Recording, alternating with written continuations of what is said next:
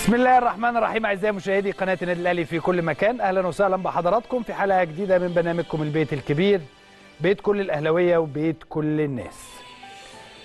بتدور على البطولات يبقى النادي الأهلي. نفسك تتوج ببطولات يبقى برضه النادي الأهلي. بتدور على العالمية أيضا يكون النادي الأهلي. عايز تشوف انفراد وريادة في كل شيء يبقى النادي الأهلي.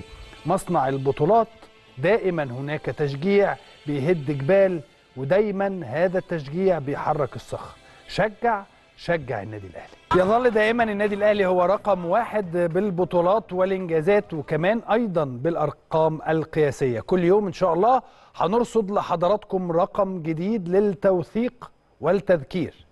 الأهلي ملك الأرقام القياسية الأهلي ملك الرباعيات. أم، أهل القمة والقاع ذاقوا من رباعيات المارد الأحمر. رباعية للأهلي أو 182 رباعية لنادي الأهلي عبر التاريخ. رباعيات المارد الأحمر لا تتوقف عند بطولة أو نادي بعينه. وزي ما قال التقرير الأهلي فاز على العديد من الأندية برباعية. في مقدمتهم الترسانة 12 مباراة والزمالك 11 مباراة والاتحاد السكندري 10 مباريات والمصري ست سبع مباريات والإسماعيلي ستة وكمان غزل المحلة والمنصورة والسكة ست مباريات ثم النادي الأولمبي خمس مباريات. طبعا في أندية تانية كتيرة جدا في آه، موجودة. الأهلي هزمها بأربعة أهداف مقابل لا شيء أو واحد أو اثنين أو ثلاثة عموما قبل ما أروح لأخبارنا النهارده وأتكلم مع حضراتكم في الأخبار النهارده عايز حضراتكم تركزوا معايا في اللي جاي. آه ركزوا معايا ومحدش يضحك. ولا أقول لحضراتكم اضحكوا يعني خلينا نشوف الموضوع. هل هو بجد هزار ولا حاجة جد؟ لأنه اللي بيحصل ده ما ينفعش.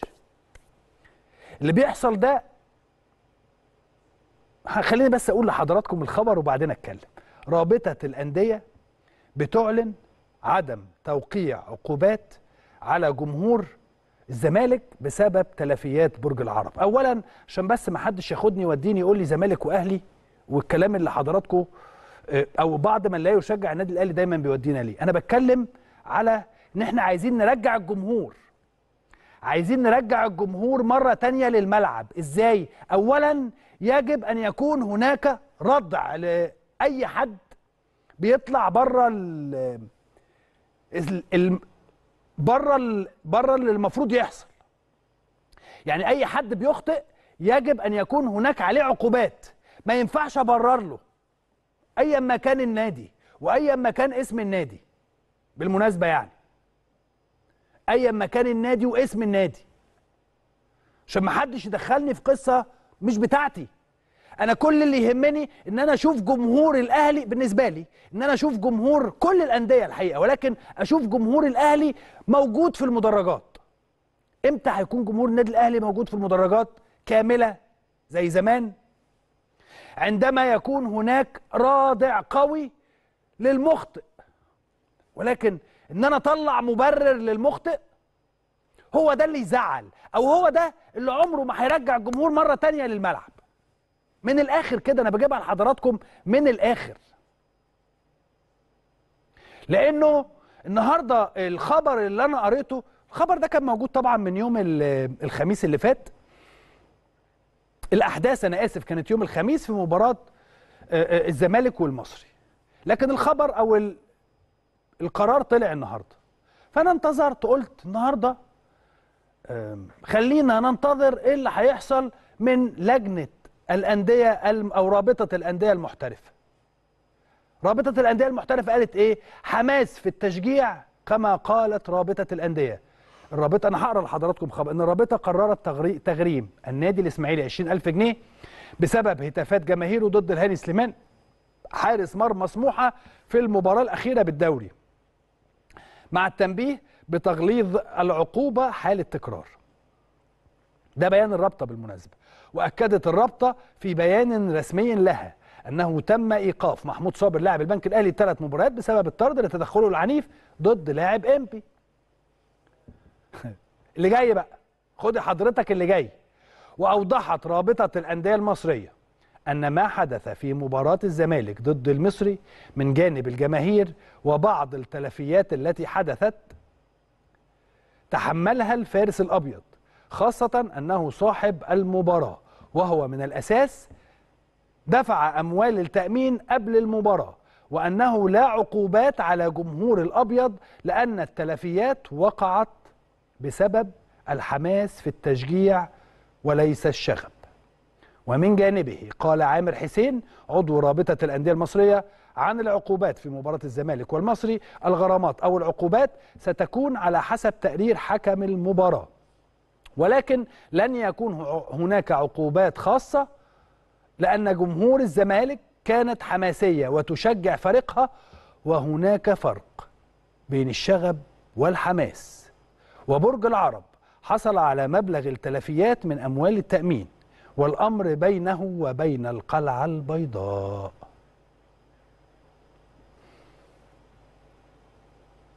هذا ما قاله الأستاذ عامر حسين عضو رابطة الأندية المحترفة.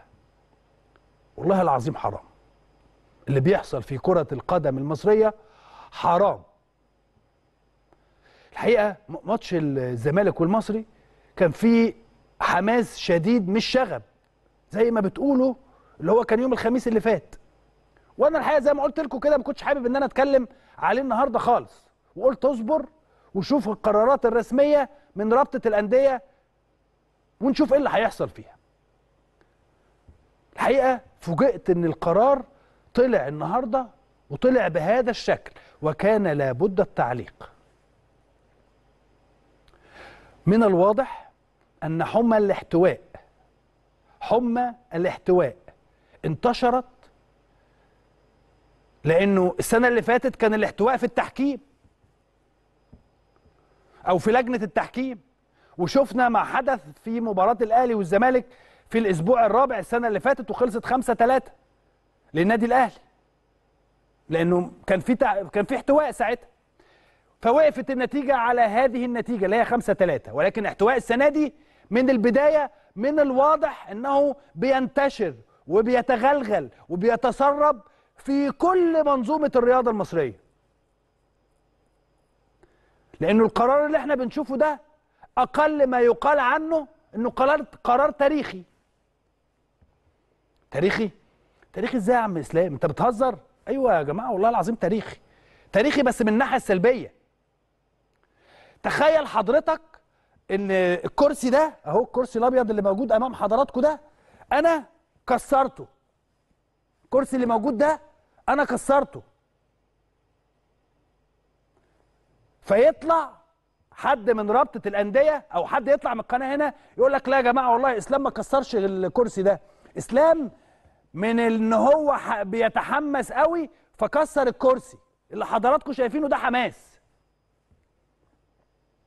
اللي حضراتكم شايفينه ده من تكسير الكراسي هو حماس وليس شغب.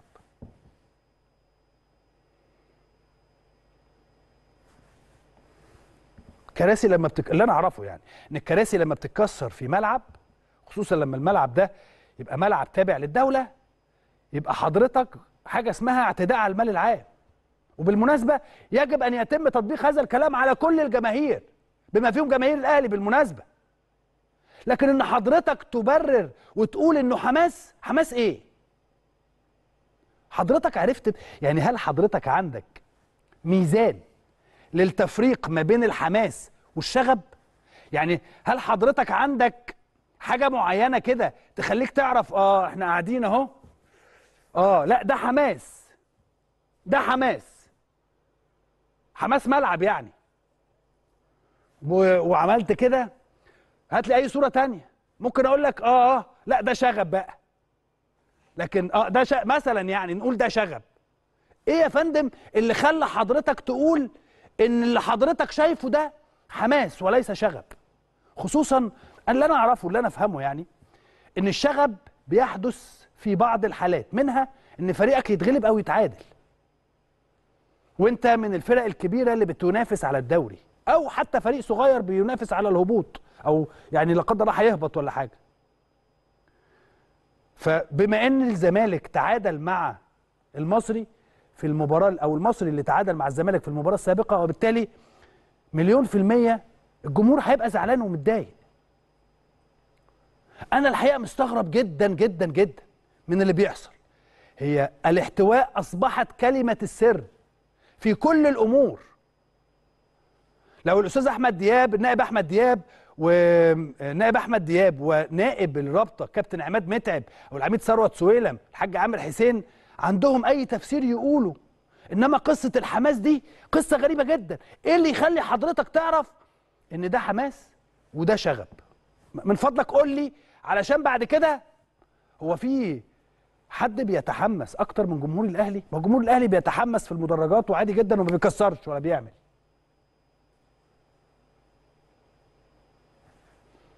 هو ليه حضرا ليه حضراتكم بتدفعونا دفع إن إحنا نقعد نتكلم في حاجات ما يصحش إن إحنا نتكلم فيها؟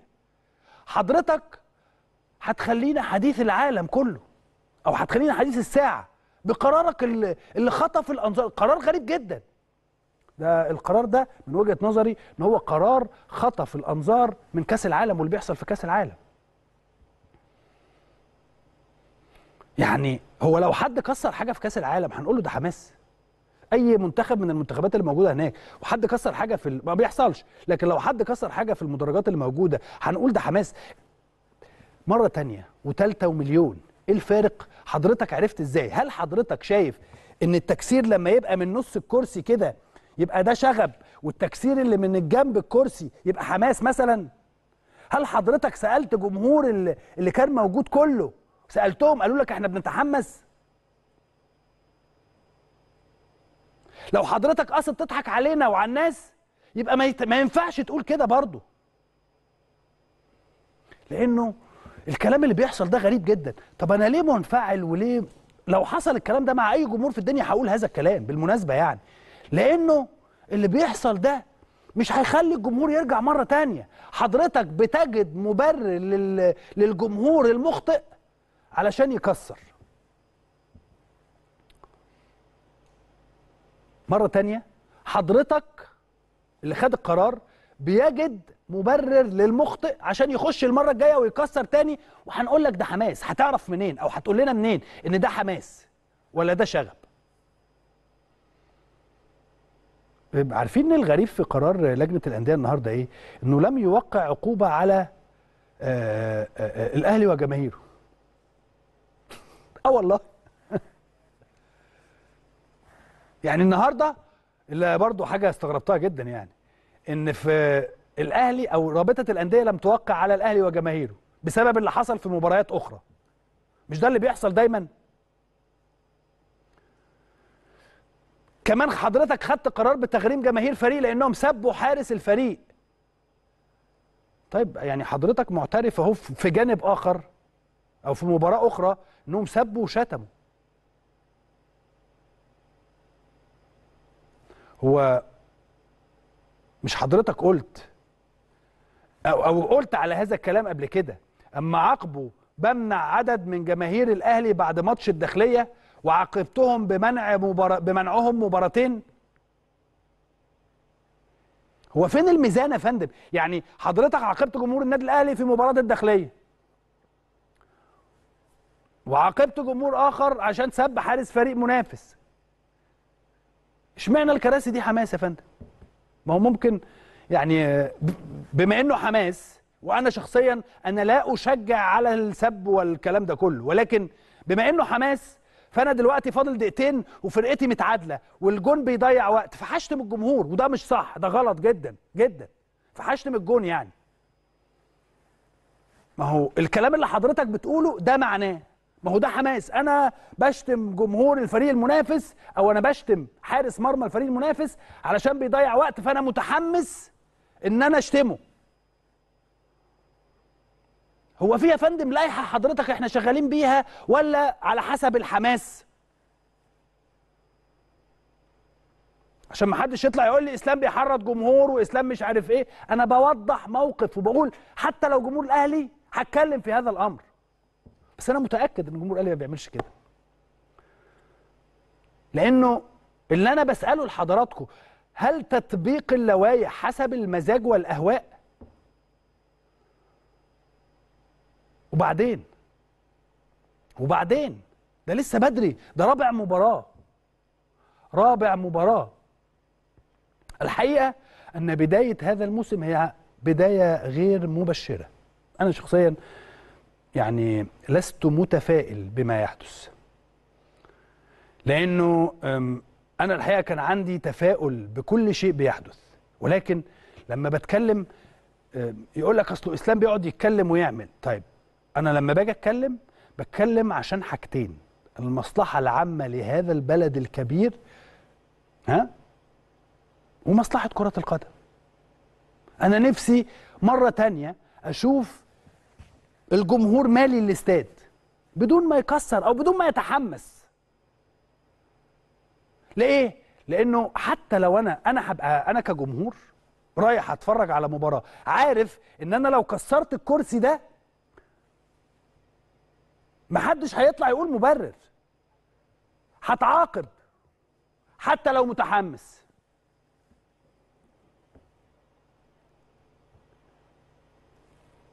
لأنه الحماس لا يمنع العقاب.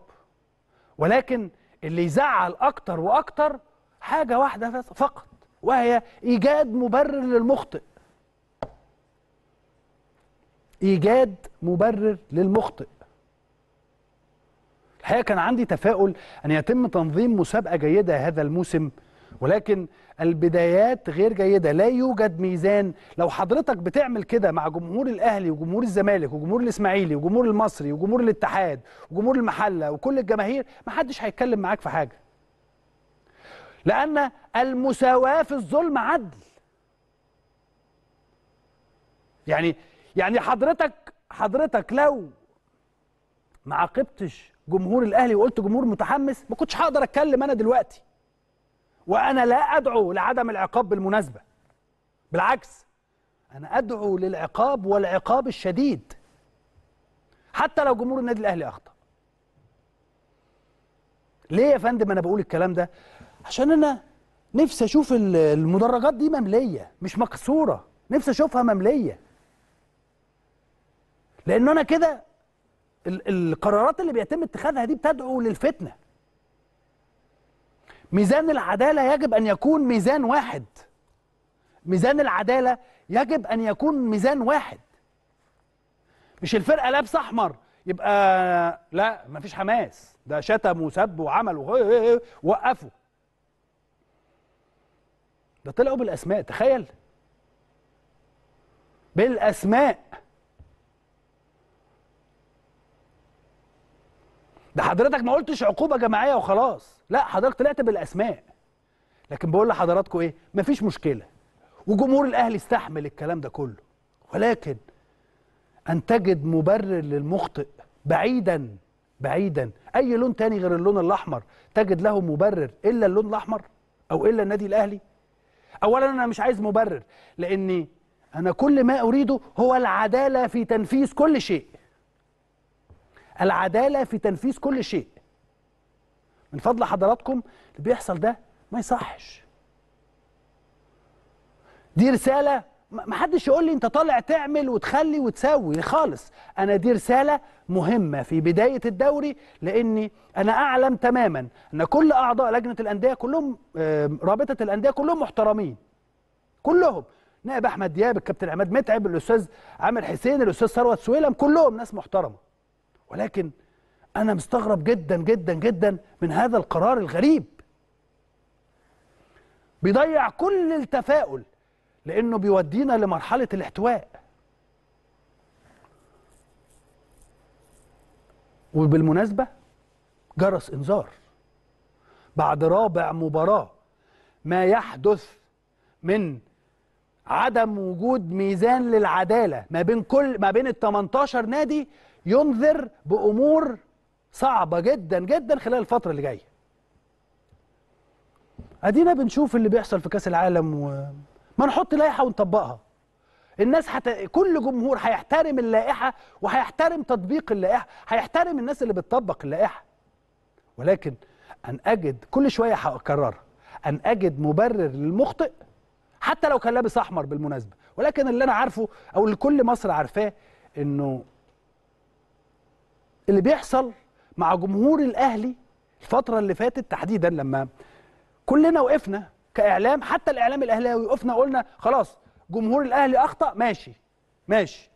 طب مستنيين بقى العقوبات اللي على بقية الأندية؟ يجب أن يكون هناك عقوبة. إحنا يا فندم مش مستنيين حد. إحنا مش مستنيين حد ولكن إحنا دايما بتكون هناك مشاكل حصلت وإحنا بنستنى النتائج عشان نطلع نتكلم ونقف في ظهر تطبيق اللوائح والقوانين لأن النادي الأهلي طول عمره طول عمره بيقف مع اللوائح والقوانين وتطبيقها. لكن اللي بيحصل ده أعتقد أمر صعب جدا أمر صعب جدا جدا لأن القاعدة معروفة المساواة المساواة حتى في الظلم فهي عدل. لأن إحنا دلوقتي وصلنا زي ما قلت لكم مرحلة الاحتواء. الاحتواء اللي حصل السنة اللي فاتت من لجنة الحكام هو من الواضح انها انتشرت أو ان الاحتواء انتشر في كل مكان. اتمنى ان تنتهي كل هذه الأمور لأنه البداية غير مبشرة بالمرة. حتى لجنة الحكام الحقيقة النهارده برضو أو في المباراة السابقة مباراة الأهلي وطلائع الجيش. يلا خليني أفتح الموضوع ده بالمرة. أنا ما عنديش مشكلة إنه أن البعض وهتكلم عن الفرقة بالمناسبة وهنتقد أداء الفريق يوم الجمعة. ما عنديش مشكلة في هذا الكلام. ولكن عندما يكون هناك ركلة جزاء صحيحة أو ضربة جزاء صحيحة 100% للنادي الأهلي ليه دايما بيبقى عليها كل هذا الكلام؟ وهي هي ركلة جزاء أولى أو أول واحدة هي ركلة جزاء وتاني واحدة هي ركلة جزاء. مع أكرم توفيق ركلة جزاء أهي. أدي واحد. أدي اتنين. ركلتي جزاء. هو حسب واحدة. أهو حضراتكم. نشوف. أنا مش عايز أتكلم في في المواضيع دي وفي هذه الأمور لأنه هي ركلة جزاء واضحة مليون في المية. أهو الركبة في الظهر في كل حاجة ودي لا دي ما فيهاش حاجة. أو دي اللي فيها حاجة. اللي جاية بقى دي هي اللي متاخدة في كل حتة. الناس عمالة تبعتها لي وبتقول لي هي دي العدالة التحكيمية يا عم إسلام من وجهة نظرك؟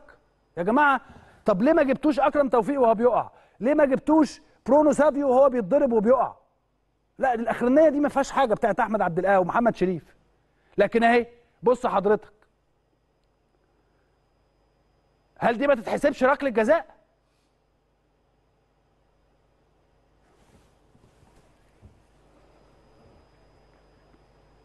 آه أهو ولا دي؟ حرام يعني بجد الموضوع أصبح غير طبيعي. ثلاث أو ضربتين جزاء الحقيقة الثالثه ضربتين جزاء واضحين 100% الحكم احتسب ضربة الجزاء الأولى. لكن هناك البعض بيطلع ويشكك ومش عايز يشوف الحقيقة. تخيل الناس دي كانت عايزة تحسب. يا نهار أبيض. والله تخيل الناس اللي طالعة دي حضراتكم كانت عايزة تحسب الهدف اللي أحرزه مهاجم طلائع الجيش بإيديه. عمل كده الكرة اتلعبت وسع آه الكرة اتلعبت بالعرض حطها بإيديه في الجون حطها بإيديه في الجون. اللي هي على طريقة إينرامو في الترجي لو تفتكروا الكل شاف إن هي آه handball اللاعب نفسه ما اتكلمش. ولكن هناك البعض عايز يخلق مشكلة للنادي الأهلي. وبيتحججوا بأي حاجة. الأهلي أصلا بيعاني من التحكيم من بقالنا سنتين. ودايما دايما في هذا البرنامج أو في كل برامج النادي الأهلي أو في كل برامج قناة الأهلي بنطالب لا نطالب بشيء إلا بالعدالة التحكيمية فقط. يعني كل فريق ياخد حقه ولو لينا حاجة نحسبها ولو علينا حاجة من فضلك احسبها. ولا عايزين احتواء ولا بروتوكولات ولا الكلام اللي إحنا بنقعد نسمعه بقالنا سنتين ده. إحنا عايزين عدالة تحكيمية. لو حصلت العدالة التحكيمية النادي الأهلي حي... على الأقل هيفوز ب 90 95% من المباريات لأنه مش معقولة تفضل طول السنة كويس. يعني أكيد في مباريات هتبقى قليل فيها. زي المباراة السابقة. فكل اللي بقوله لحضراتكم إن اللي بيحصل ده ما يصحش. يجب أن يكون هناك ميزان للعدالة في كل الأمور. خلونا نطلع فاصل وبعد الفاصل هنقرأ أخبارنا أخبار البيت الكبير أهلا وسهلا بحضراتكم مرة أخرى أعزائي المشاهدين. خلينا نقرأ بقى أخبارنا. راحه 24 ساعة في الأهلي قبل استئناف التدريبات استعدادا لمباراة غزل المحلة. طبعا زي ما حضراتكم عارفين المحلة فيها يعني كان فيها خلال الفترة السابقة مشاكل كتيرة جدا ولكن أول مدير الفني كان هيمشي ويرجع ل أو مش هيكمل مع نادي غزل المحلة. ولكن دايما قبل مباريات الأهلي هتلاقي إيه؟ هتلاقي إن الكل بيتضافر كل المجهودات بيتم تضافرها عشان النادي اللي هيلاعب النادي الأهلي يبقى مستقر. طيب لو الأهلي كسب المباراة اللي جاية إن شاء الله ربنا يكرمنا في مباراة المحلة القادمة ونقدر نفوز. هيحصل إيه؟ أنا بقول لحضراتكم من دلوقتي هتحصل مشكلة كبيرة في غزل المحلة. الكل دلوقتي بيجري وبيتضافر وبتتضافر الجهود علشان على فكرة أنا من أكتر الناس عشان بس ما حدش ياخد الكلام برضه ويوديني المحلة وضد لا لا خالص. لكن بلاش المحلة. أي نادي بيلعب ضد النادي الأهلي وتلاقي الكل بيتضافر والمجهودات كلها بتتضافر علشان يلموا الموضوع وبعدين نبقى نشوف بعد مباراة الأهلي إيه اللي هيحصل. ماشي ده قدرنا. النادي الأهلي قدره هذا الأمر إن هو هو الكبير. فدايما لما تيجي تلاعب الكبير فبتلاقي كل الدنيا بتتلم. إخواتنا وأصدقائنا خلال الفترة السابقة لما تيجي تتكلم مع أحد المشجعين الأهلاوية يقول لك دايما قبل هذه المباريات مش المحلة بس كل المباريات. يعني قبل طلائع الجيش بتلاقي كده حلوا أمورهم والكابتن علي عبد العال استقال وبعدين الكابتن محمد يوسف جه مسك قبل المباراة بتاعت بعد المحلة في مباريات أخرى هتلاقي دايما والمكافئات بيتم مضاعفتها والأمور بيتم. هو ده النادي الأهلي أو هو ده الكبير دايما بتلاقي كله دايما بيعمل كده. كولر بيبدأ استكشاف غزل المحلة قبل مواجهته في الدوري. بالمناسبة هي مباراة صعبة جدا على النادي الأهلي. يعني زي ما حضراتكم شفتوا كده مباراة طلائع الجيش مباراة صعبة جدا. ولم نكن فيها جيدين خصوصا في الشوط الأول ولكن قدرنا نكسب. فبالتالي النتيجة تخلينا نصبر شوية على شكل الأداء اللي إحنا اللي مش عاجبنا كلنا كأهلاوية. هل الأداء عاجبنا؟ كلنا كأهلاوية الأداء مش عاجبنا ولكن النتيجة مخليانا نصبر مخليانا نفضل واقفين ورا فريقنا. حتى لو لا قدر الله حصل أي حاجة هنفضل دايما واقفين ورا فريقنا وهنفضل في ظهر نادينا في كل الأمور في كل حاجة. لأنه لسه بدري جدا على الدوري العام. خلي بال حضرتك مش معنى إن الأهلي كسب وإن الزمالك اتعادل إن أنت خدت الدوري. ابدا. في حاجات كتيرة بتحصل حوالينا زي ما حضراتكم بتشوفوا كده ممكن جدا جدا تخلي أمور كتيرة تحصل. إحنا بنحاول نوقف هذه الأمور من دلوقتي. أتمنى إن كل هذه الأمور تنتهي خلال الفترة اللي جاية وكل شوية هأكرر. أن يصبح ميزان العدالة ميزان واحد. ما يهمكش لون ما يهمكش حاجة أخرى ولكن كل اللي يهمك أن يتم تطبيق ميزان العدالة في كل قراراتك. ده اللي أنا أتمناه. كولر بيضع برنامجا لتجهيز علي معلول وعلي معلول الحمد لله على سلامته طبعا هناك كانت أنباء بتشير إلى إن علي معلول خلاص بطل اللعب أو اعتزل اللعب دوليا ولكن علي لم يؤكد هذا الكلام حتى الآن. إن شاء الله خلال الأيام القادمة هنشوف إيه اللي هيحصل في هذا الأمور. الحقيقة بعد كل اللي بيحصل في فرع النادي أو مقر النادي الأهلي بالقاهرة الجديدة حاجة جميلة جدا وبالتالي هو إقبال كثيف على عضوية النادي الأهلي بفرع القاهرة الجديدة. الأستاذ أنديل رئيس لجنة العضويات بيكون دائما متواجد وإقبال من الواضح إن هو إقبال هذه إقبال كبير جدا لأنه هذا النادي بيشهد طفرة إنشائية هائلة وزي ما حضراتكم عارفين اللي بيحصل في القاهرة الجديدة أو في مقر النادي الأهلي في القاهرة الجديدة حاجة إعجازية. اتحاد الكرة بيجري اختبارات اعاده إعادة في اللياقة البدنية للحكام واللجنة الأولمبية تعتمد فوز فرج عامر برئاسة نادي سموحة. مصطفى عسل يفوز ببطولة هونج كونج للأسكواش. ده, كان آخر خبر معانا. النهارده الحقيقة مشكلتنا دايما إن إحنا عندنا حاجات كتيرة جدا جدا نقدر نتكلم فيها. ولكن دائما النادي الأهلي عنده أخلاق عنده مبادئ بيتم تطبيقها في كل أمور في كل أمور. خلي بال حضراتكم. صنع في الأهلي بطلة فقرتنا النهارده الكابتن نجلاء فوزي نجمة الأهلي السابقة للكرة الطائرة. انضمت للأهلي موسم 98 لحد موسم 2006 حققت العديد من البطولات الإفريقية أكثر من 30 دوري وكأس في جميع البطولات المختلفة التي لعبت فيها مع النادي الأهلي.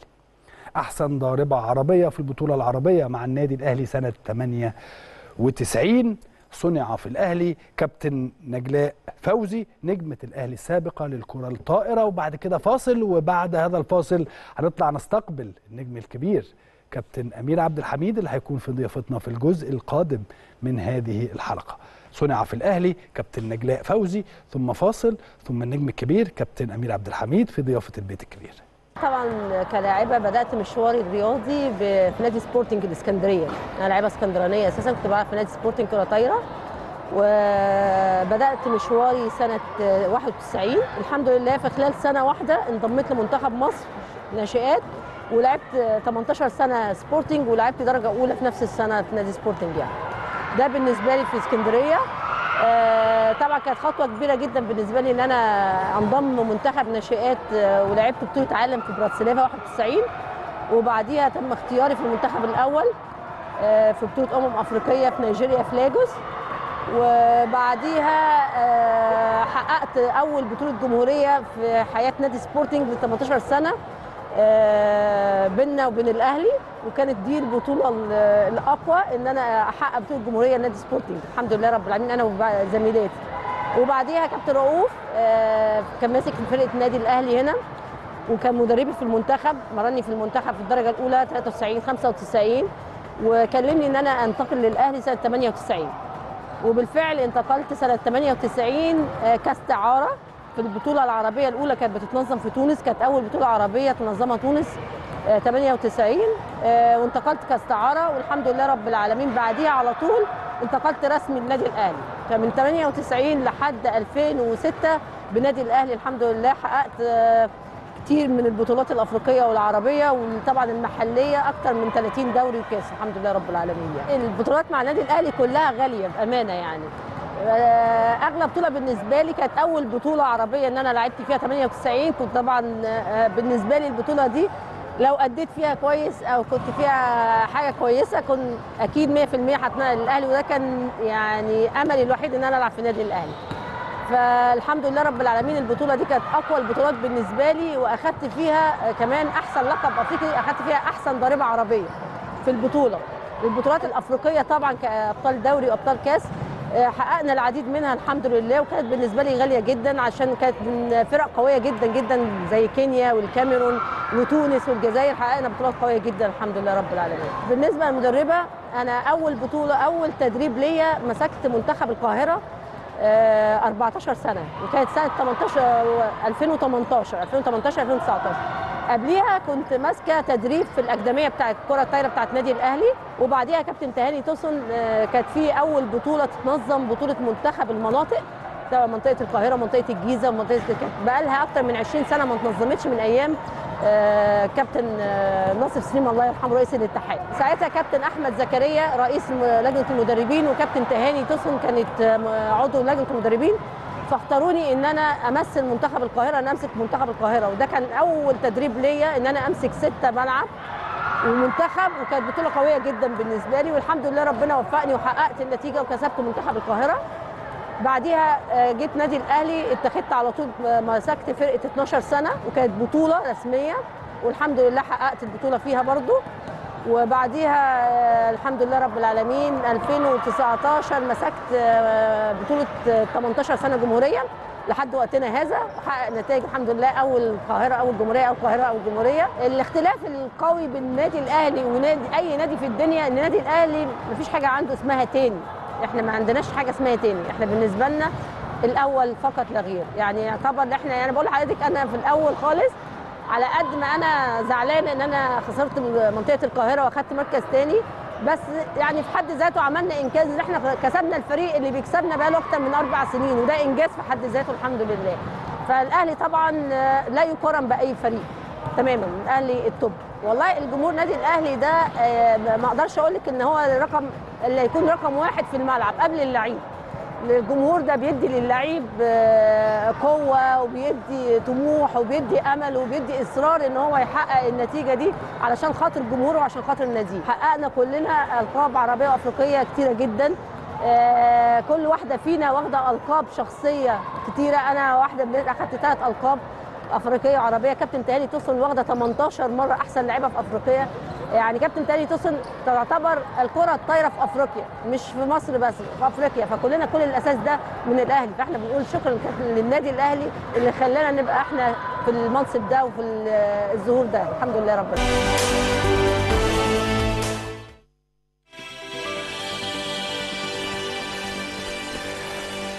أهلا وسهلا بحضراتكم مرة أخرى أعزائي المشاهدين. خلوني أرحب بضيفي وضيف حضراتكم في هذه الفقرة النجم الكبير وأحد نجوم النادي الأهلي عندما تتكلم عن أمير عبد الحميد هتتكلم عن إنسان محترم الكل بيحبه وهو كمان بيحب النادي الأهلي. إزيك يا أمير؟ حبيبي يا كابتن إسلام. أخبارك إيه؟ شكرا على هقول لك كابتن أمير. بقى لأنه إحنا جيل واحد وإخوات حبيبي حبيبي يا كابتن إسلام. منور.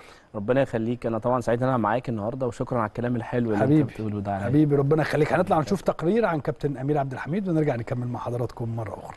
أهلا وسهلا بحضراتكم مرة أخرى أعزائي المشاهدين. رجعنا معاكم مرة تانية ومع كابتن أمير عبد الحميد. كابتن أمير طبعا تاريخ طويل ومع النادي الأهلي ومع كثير من أندية الدوري الممتاز لعبت يعني في فترات طويلة كمان مع النادي الأهلي ثم مع كذا نادي بعد كده. آخر حاجة أنا عارف أنت كنت بتدرب في السكة الحديد ومشيت ودلوقتي أعتقد مشرف على القطاع على حراس المرمى في قطاع البنك الأهلي. بص يا كابتن إسلام هو يمكن أنا بعد ما اعتزلت على طول دخلت النادي الأهلي من خلال آه، أكاديمية النادي الأهلي. كنت مدير فرع النادي الأهلي في الشيخ زايد. أيوه. والحمد لله عملنا تل... عملت ثلاث سنين كويسين آه، خدمت فيهم النادي.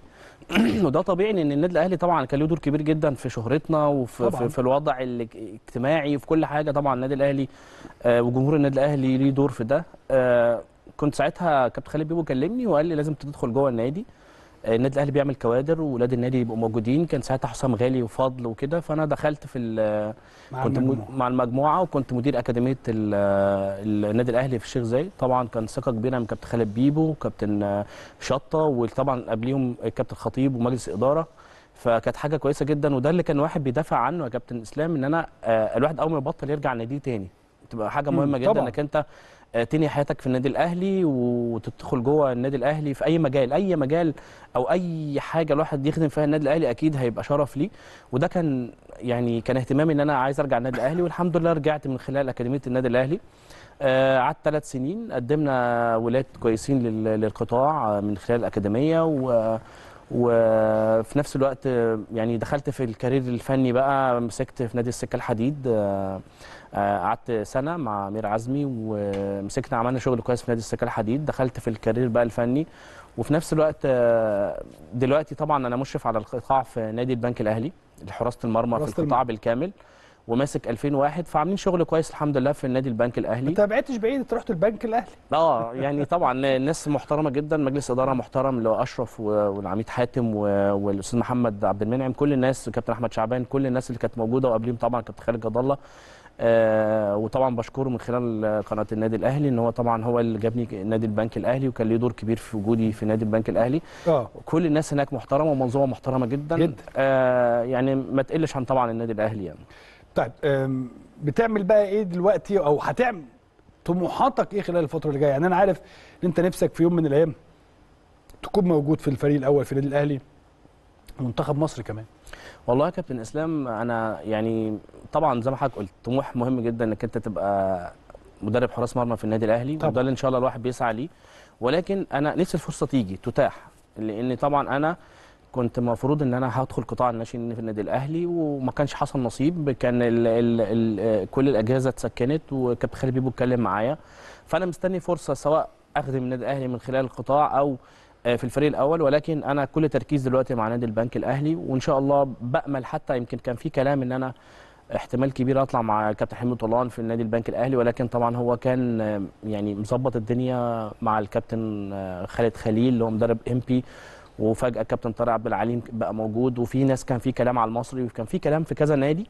ولكن أنا يعني ما كانش فيه نصيب ولسه وإن شاء الله بأمل إن أنا أكمل. آه اللي جاي هيبقى أفضل بإذن الله. وبأمل بقى اللي هو إن شاء الله لما تجي لي فرصة. أنا عايز بس أهم حاجة يا كابتن إسلام تيجي لك الفرصة. أوكي. لكن أنت بتبقى أنت عندك طموحات؟ بس خلي بالك أنت متعود على كده يا أمير. يعني حتى آه، لما لما تيجي نتكلم عن مشوار أمير عبد الحميد أنت خدت الفرصة من من واحد زي عصام. يعني عصام مصر كلها تعلم هذا الأمر يعني مش من الناس اللي ما بتسيبش الملعب يعني اللي لو يعني يعني في حاجة كبيرة جدا طبعا. جدا جدا جدا جدا جدا جدا تخليه يسيب الملعب طبعا فهي نفس ال... واضح إن هي نفس الفكرة يعني إن أنت برضو بتنتظر وح... ولما خدت الفرصة خدتها فين؟ انت خدتها في كأس عالم الأندية خلي بالك لو فاكر يعني. طبعا. هو هو بص يا كابتن إسلام هو الواحد طبعا يعني زي ما الواحد بدأ مشواره من وأنا صغير في النادي الأهلي أنا ابن- من أبناء النادي الأهلي وده شرف ليا من وأنا عندي 9 سنين 10 سنين. جوه النادي. بامل إن أنا أدخل كنت أدخل السلمة واحدة واحدة من خلال النادي الأهلي برضو ولكن طبعا لسه النصيب ما جاش إن أنا أدخل. هي الفكرة بس يا كابتن إسلام إنك أنت تجي لك الفرصة. أوكي. ولو جت خلاص. لو جت خلاص. يعني ادي الفرصة و... و... وشوف و... وتابع وبعد كده شوف النتيجة. يعني صحيح. انت النهارده انت وانت في القطاع تأمل انك انت تكون موجود جوه النادي الأهلي. فضلت مستني مستني مستني لحد ما جات لي الفرصة. ولعبت الحمد لله وخدنا بطولات. فالناس كانت قلقانة شوية لأن طبعا زي ما حضرتك قلت حضري قيمة كبيرة وإنك انت تدخل بعد الحضري دي حاجة بتبقى مش سهلة. آه، في نفس الوقت في الكارير الفني انت النهارده الواحد عايزين مم. ناخد الفرصة يعني أنت بتاخد الفرصة الأول بعد كده تحكم مم. لكن أنت ما ينفعش تحكم وأنت لسه ما خدتش أي فرص. آه، يعني في ناس تقول لك إيه آه، أمير لسه مبطل وهو الآخر طب ما في في ناس مبطلة الحضري بطل مسك عبد المنصف بطل من ثلاث ساعات آه، مسك بعد أربع ساعات آه. في النادي المصري مم. هي القصة كلها إنك أنت تدي الفرصة للشخص وبعد كده تبتدي تتكلم يعني أول ما بطلت طبعا كابتن خالد بيبو كان يتكلم معايا وقال لي إن شاء الله تدخل معانا ولكن آم، خد خبرات وهو إلى آخره. فدلوقتي خدت الخبرات أنا مسكت نادي السكة واتعرض عليا نادي السكة تاني. آه ودلوقتي موجود في نادي البنك الأهلي وجالي كذا عرض في في في الدوري الممتاز. ولكن طبعا المسؤولين في نادي البنك الأهلي قالوا لا أمير يبقى موجود معانا وي- ويدي خبراته للحراس اللي موجودين في القطاع. هي الفرصة بس يا كابتن أسلام تجي لك وبعد كده هتلاقي الدنيا كويسة جدا. زي. ما أنا كنت مستني فرصة والحمد لله كانت الناس قلقانة وخدنا بطولات وخدنا ثالث عالم و- واشتغلنا. حقيقي. بس هي الفكرة في الفرصة اللي تجيلك. لكن ما تحكمش على حد وانت لسه ما اديتش أي فرص. فأنا. بأمل إن شاء الله الفرصة تيجي بإذن الله إن شاء الله. الفرصة هتيجي وإحنا متأكدين. أنا شخصيا متأكد من طبيعة أمير عبد الحميد إن هو هيكون له دور كبير جدا في حرا- في مستقبل حراسة المرمى في مصر خلال الفترة القادمة. إن شاء الله خلينا نروح بقى للمونديال 2022 يا, يا أمير. أم، تابعت دور ال 16 إزاي؟ ومن وجهة نظرك إيه هي أبرز المفاجآت اللي حصلت؟ في دور ال 16 بص يا كابتن اسلام هو طبعا انت عارف البطولات الكبرى بتبان بقى من الدور ال 16 صح. يعني البطولة بتتلعب من الدور ال 16 انت عندك في ناس بتبقى في الأول مفاجآت في حصان أسود بيبقى موجود مين الحصان الأسود امير؟ كنا بنعمل بولندا يعني آه. بولندا صعدت برضو وقدت قدمت مستويات كويسة ولكن طبعا ما كملتش لأن طبعا آه، بولندا آه، بيعتمدوا على لاعب واحد بس آه، في نفس الوقت كان تشيزني حارس المرمى كان ليه دور كمان إن هو يساعدهم ولكن أنا شايف إن المفاجآت الكبرى في بطولة كبيرة زي دي هي البطولات العربية والأفريقية. منتخبات. آه سوري المنتخبات الأفريقية والعربية. إنك نعم. أنت بتصعد وبتاخد ثقة لأن خلاص أنت كل الدنيا كل الف... كل المنتخبات عندها لعيبة محترفة كبيرة جدا. صحيح. وعندهم زمايلهم بيلعبوا ضدهم في في المنتخبات الكبرى. فبالتالي الثقة موجودة. plus plus إن البطولة مقامة على بطولة عربية آه، أو دو- دولة عربية جمهور كبير جدا بيساند. الناس آه، طبعا آه، يعني آه، تنظيم هايل آه، ملاعب وتصوير وإقامات وكل حاجة بصراحة آه، كأس عالم نموذج يا كابتن إسلام بمعنى الكلمة ملاعب تصوير آه، استوديوهات تحليلية لعيبة حاجة. كل, كل حاجة موجودة. فأنا شايف من وجهة نظري إن المنتخبات الأفريقية وال- والعربية آه، عملوا إنجاز ودي حاجة كويسة جدا بنأمل إن إن شاء الله المغرب تكمل. النهارده السنغال خرجت فبنامل إن المغرب تعمل حاجة إن شاء الله قدام إسبانيا. فما فيش حصان أسود معين. أنا بتكلم على المنتخبات الأفريقية آه، والعربية. كان كان مفاجأة بالنسبة للمنتخبات العالمية والمنتخبات يعني الكبيرة. تونس تكسب فرنسا والبرازيل تتغلب من كاميرون والارجنتين المغرب بلجيكا تكسب بلجيكا آه. وبعد كده بتصعد. صحيح. فبتتكلم في تونس تكسب فرنسا. يعني حاجات حاجات بصراحة جديدة جدا. آه جديدة ما كناش متعودين عليها يعني. طيب خلينا نتكلم معاك بقى عن مستوى حراس المرمى بشكل عام أو بشكل أكبر في آه، آه، بطولة كأس العالم يعني. شايفه إزاي حتى الآن؟ آه أنا شايف إن يعني مارتينيز هو من من الناس اللي هي حارس مرمى الأرجنتين ده من من الحراس المرمى الممتازين وعملاق. وأنا كنت متابعه في الدوري الإنجليزي مع أستون فيلا كان واحد برضو كان غلبان على قد حاله. استنى فرصة. الجول الحارس الأساسي بتاع أستون فيلا اتعور. ابتدى هو يشتغل وياخد بقى ثقة مهمة جدا في أستون فيلا ابتدى يشتغل كان بعيد عن المنتخب الأرجنتين. دلوقتي النهارده من أهم ال- ال- ال- لاعبين. الخطوط أو اللاعبين اللي موجودة آه، صحيح. زائد ميسي طبعا في منتخب الأرجنتين وبيدي ثقة كبيرة جدا. وشفناه عمل إنقاذ هايل في الماتش الأخير قدام أستراليا. كان خلاص الموضوع أنت تخش في ال game تاني وتخش في extra time والأستراليين أقوياء. ممكن كانوا يطلعوا معاك آه. آه شايف آه آه تشيزني طبعا حارس مرمى بولندا حارس مرمى كويس. أنا متابعه من من أيام ما كان في آه روما مع صلاح. كان عامل ماتشات كويسة جدا في ال Champions League وكان عامل ماتشات كويسة جدا في الدوري الإيطالي.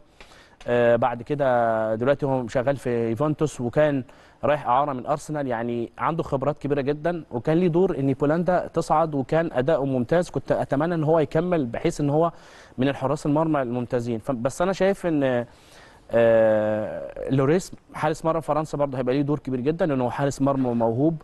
وشغال كويس جدا مع توتنهام يعني. مين الحارس الأفضل بالنسبة لك حتى الآن؟ لغاية دور ال 16 أو لغاية المباريات اللي شفتها في دور ال 16 حتى الآن مارتينيز حارس مرمى الأرجنتين. أنت بي- معجب بيه جدا. آه معجب بيه لأن هو يعني بقالنا آه، فترة كبيرة جدا ما شفناش حرا- حراس مرمى آه، موهوبين مع المنتخبات الكبرى. يعني إحنا كان دايما يقول لك الأرجنتين والبرازيل كانوا بيعانوا من حراسه المرمى.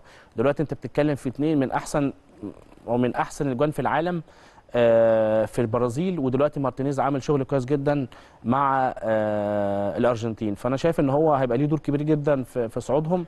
لوريس برضو هيبقى ليه دور كبير جدا مع فرنسا. هل تعتقد إن الحراس هيكون لهم دور مهم في المراحل النهائية ولا المنتخبات الكبيرة هتكسب على طول؟ والله يا كابتن إسلام بص هو طبعا حراس المرمى آه لما يكونوا حراس كبار ومركزين آه ال save بتاعه أو الإنقاذ بتاعه بيفرق. أنت النهارده شفت النتيجة كانت 0 0 السنغال وإنجلترا. كره بتاعت إسماعيل يسار آه. آه إسماعيل يسار. في المباراة. إنقاذ هايل. آه إنقاذ هايل من من من من من واحد بقاله فترة كبيرة جدا بيلعب مع منتخب إنجلترا وماشي كويس جدا مع إيفرتون. عمل إنقاذ هايل اتردد بهدفين. فالحراس الكبار آه، اللي هم موجودين في في في المنتخبات أكيد لهم دور كبير جدا في إنك أنت تحول النتيجة أو تحافظ على النتيجة مع ناس بتعرف تخلص. يعني شفنا إنجلترا النهارده من من الفرق ال- ال- الممتازة اللي بتعرف تطلع بالكرة من ورا صح. صحيح. والفرق الكبيرة اللي بتعرف تطلع يا كابتن إسلام من ورا صح إنك أنت في ناس كتير بتاخد الكرة وتلعب طويل. لكن أنت النهارده لما تاخد بتتحول من الدفاع للهجوم وعندك سرعات wingين وعندك واحد بيخلص وعندك حارس بي بي بيعمل إنقاذ هايل طبيعي إن الفرق اللي زي دي بت- بتكمل في في النهائيات يعني مم. فأنا شايف إن الحراس مرمى هيبقى ليهم دور- كبير جدا الفترة الجاية. وخلي بالك أنت المنتخبات بعد عندهم حارسين انت آه، الفرق اللي هي ضمنت الصعود بعد ماتشين الماتش الثالث بيلعبوا. الحارس الثاني اللي هو آه. الثاني مش بديل. انت بتتكلم في أسماء كبيرة أسماء جدا. كبيرة جدا. فأعتقد إن المنتخبات اللي عندها حارس وحارسين هيبقى لهم دور- كبير جدا ال- الفترة الجاية في الأدوار اللي جاية حراس المنتخبات العربية الحقيقة كلهم معظمهم أو معظمهم تالقوا ولكن يظل يظل دائما ياسين بونو له نكهة خاصة يعني. ياسين بونو طبعا من الحراس ال- ال- الممتازين وده تكملة طبعا للحراس العظام اللي هم على مدار تاريخ المغرب. آه، من أول بادو الزكي لحد ياسين بونو. ياسين بونو عنده خبرة كبيرة جدا آه، اسباني عامل ماتشات هايلة. آه، يمكن لعب أول ماتش وبعد كده تاني ماتش حصل له طبعا إصابة ولعب الحارس البديل معاه في المغرب. ياسين بونو ال- الماتش اللي فات مش هقول إن هو 100% كان يعني آه، مركز 100% لأن كان في بعض الأخطاء كانت ممكن تحصل مشكلة كبيرة جدا بعد الهدف الثاني في آخر دقيقتين ثلاثة الكرة اللي وقفها بصدره. ولكن دي حاجات خفيفة بتحصل. لكن هو أكيد هيبقى ليه دور كبير جدا أعتقد في ماتش إسبانيا. وهو كمان لاعب وعارف اللعيبة كويس جدا في إسبانيا بيلعب في الدوري الإسباني. فإن شاء الله يبقى موفق في في اللقاء اللي جاي ويعمل لقاء كويس إن شاء الله بنامل ان المغرب تكمل يعني إن شاء الله. لوريس مع فرنسا وإيدرسون واليسون ده بالمناسبة ان أنت أليسون بيكر وإيدرسون في آه. البرازيل. في الاثنين يعني واحد واثنين في المنتخب البرازيلي جامدين جدا يعني. آه، أعتقد إن الاثنين دول تحديدا أليسون و آه، آه،. آه، آه، ليهم دور كبير جدا مع المنتخب البرازيلي غير طبعا آه، لوريس آه، حارس. مرمى المنتخب الفرنسي. أيضا هيكون له دور كبير الفترة اللي جاية. طبعا أنت بتتكلم الثلاثه بيلعبوا في دوري من أكبر أندية ال- العالم. الدوري ال- الإنجليزي والاثنين حراء يعني بتتكلم في, في, في واحد في مانشستر سيتي واحد في ليفربول واحد في آه، توتنهام اللي هم من أكبر الأندية اللي موجودة في الدوري الإنجليزي آه. وليهم دور كبير جدا في أنديتهم في ال- في إن هم يبقوا في القمة فأعتقد إن يعني وبقالنا فترة كبيرة جدا ما شفناش حراس في البرازيل. كنا بنع هو ده. صح دلوقتي عندك واحد واثنين. وكمان بيلعبوا يعني برجليهم كان دايما يقول لك مشكلة البرازيل أيام يعني الجيل القديم قوي. 94 و- آه. يقول لك إنه 98. مشكلة البرازيل في حارس مرماها. دلوقتي لأ. أنت عارف يا كابتن إسلام يعني 98 أعتقد تافاريلي اللي كان بيلعب. فتافاريلي ده لما كان بيلعب كان يقول لك يا أخيرا لقوا حارس مرمى. آه.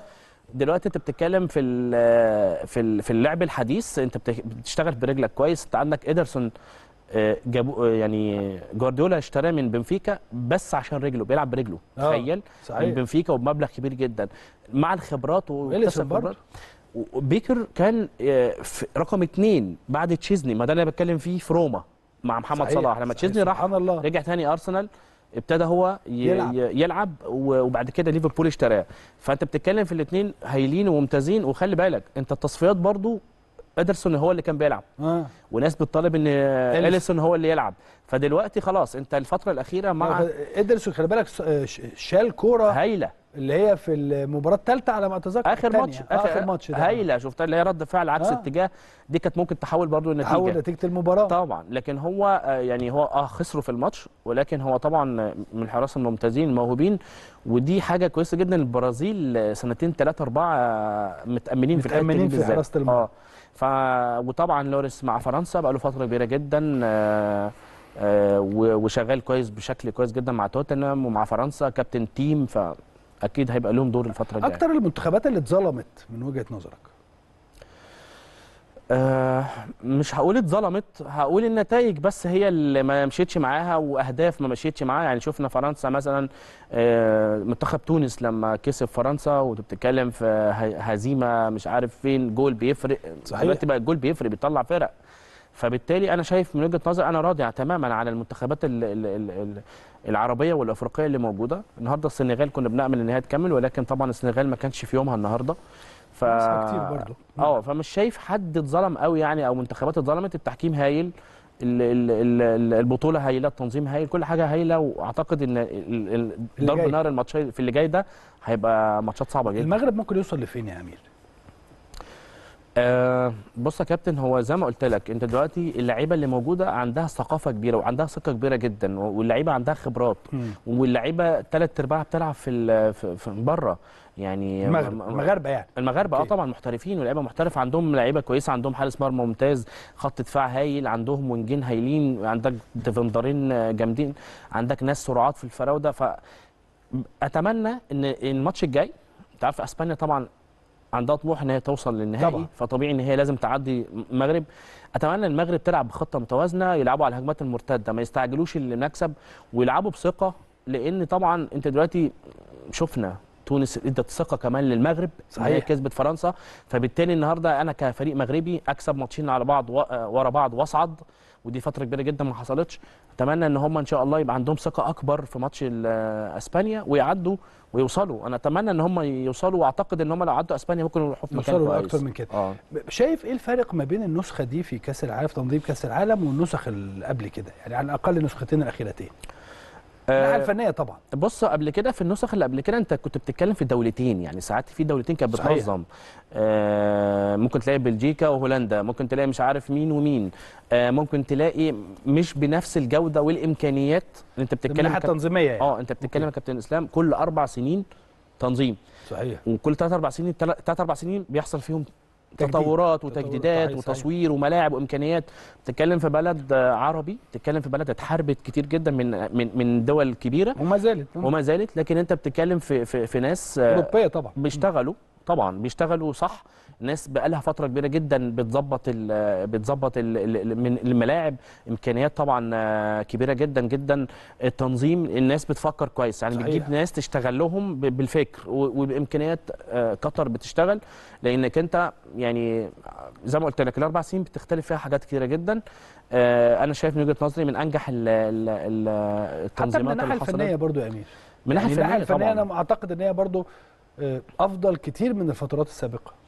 آه، وعلى الأقل من روسيا.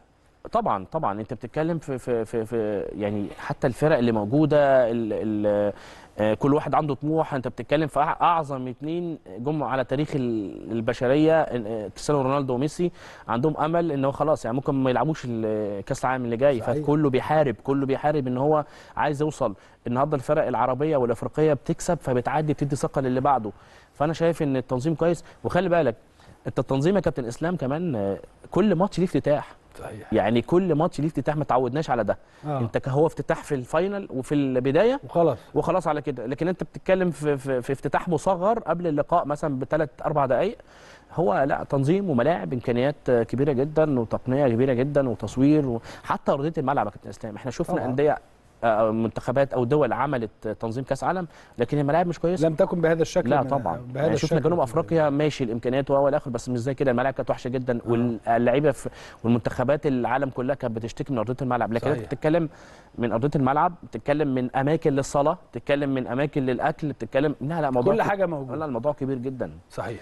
فبصراحة كأس عالم منظم وأتمنى إن شاء الله لحد النهارده يكمل بقى الفاينل. حتى كمان الجمهور مفيش مشاكل مفيش حاجة بنأمل إن يكمل ويستمر على كده إن شاء الله.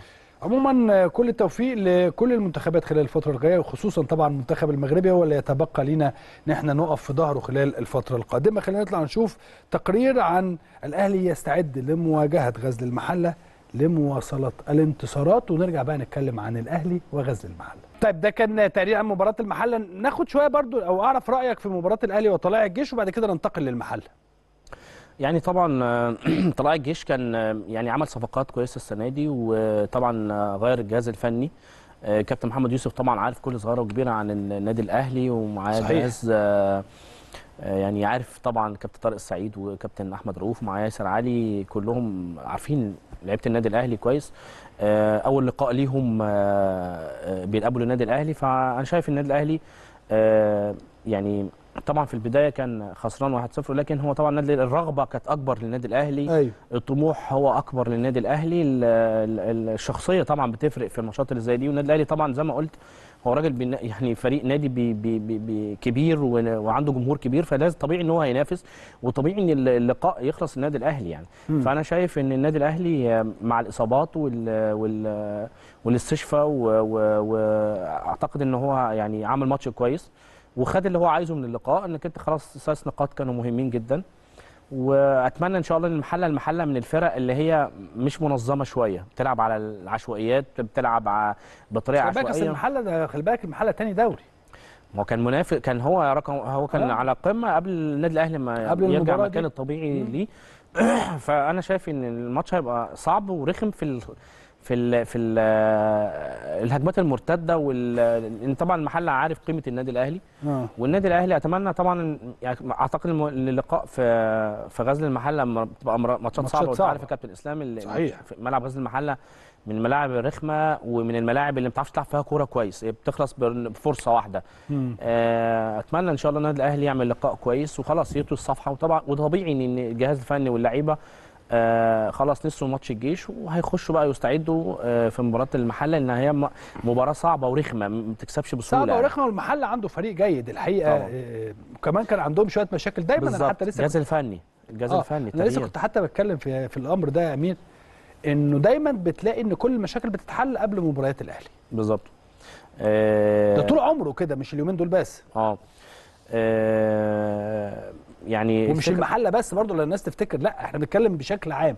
قبل المباريات الكبيرة بتجد كل المشاكل بتتحل. طبعا هو لحين الانتهاء من المباراة يعني. الراجل المدير الفني والجهاز الفني اللي موجود عنده خبرات وكان ماسك دجلة و و و وكان ماشي معاهم بشكل كويس جدا. نعم. آه لكن أنا الفترة الأخيرة ما أعرفش حتة إن هو ساب الفريق هيروح المصري.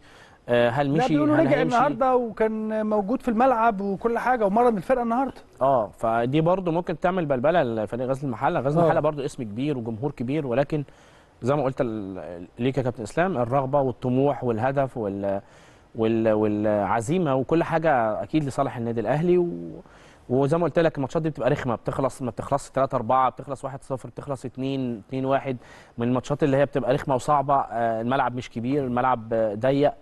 ف وخصوصا ماتشات المحلة والنادي الأهلي بتبقى ماتشات صعبة وبتبقى بتحصل فيها أحداث يعني. فأتمنى إن شاء الله النادي الأهلي يبقى اللعيبة مركزة وخلاص يعني يستعدوا كويس للقاء يعني.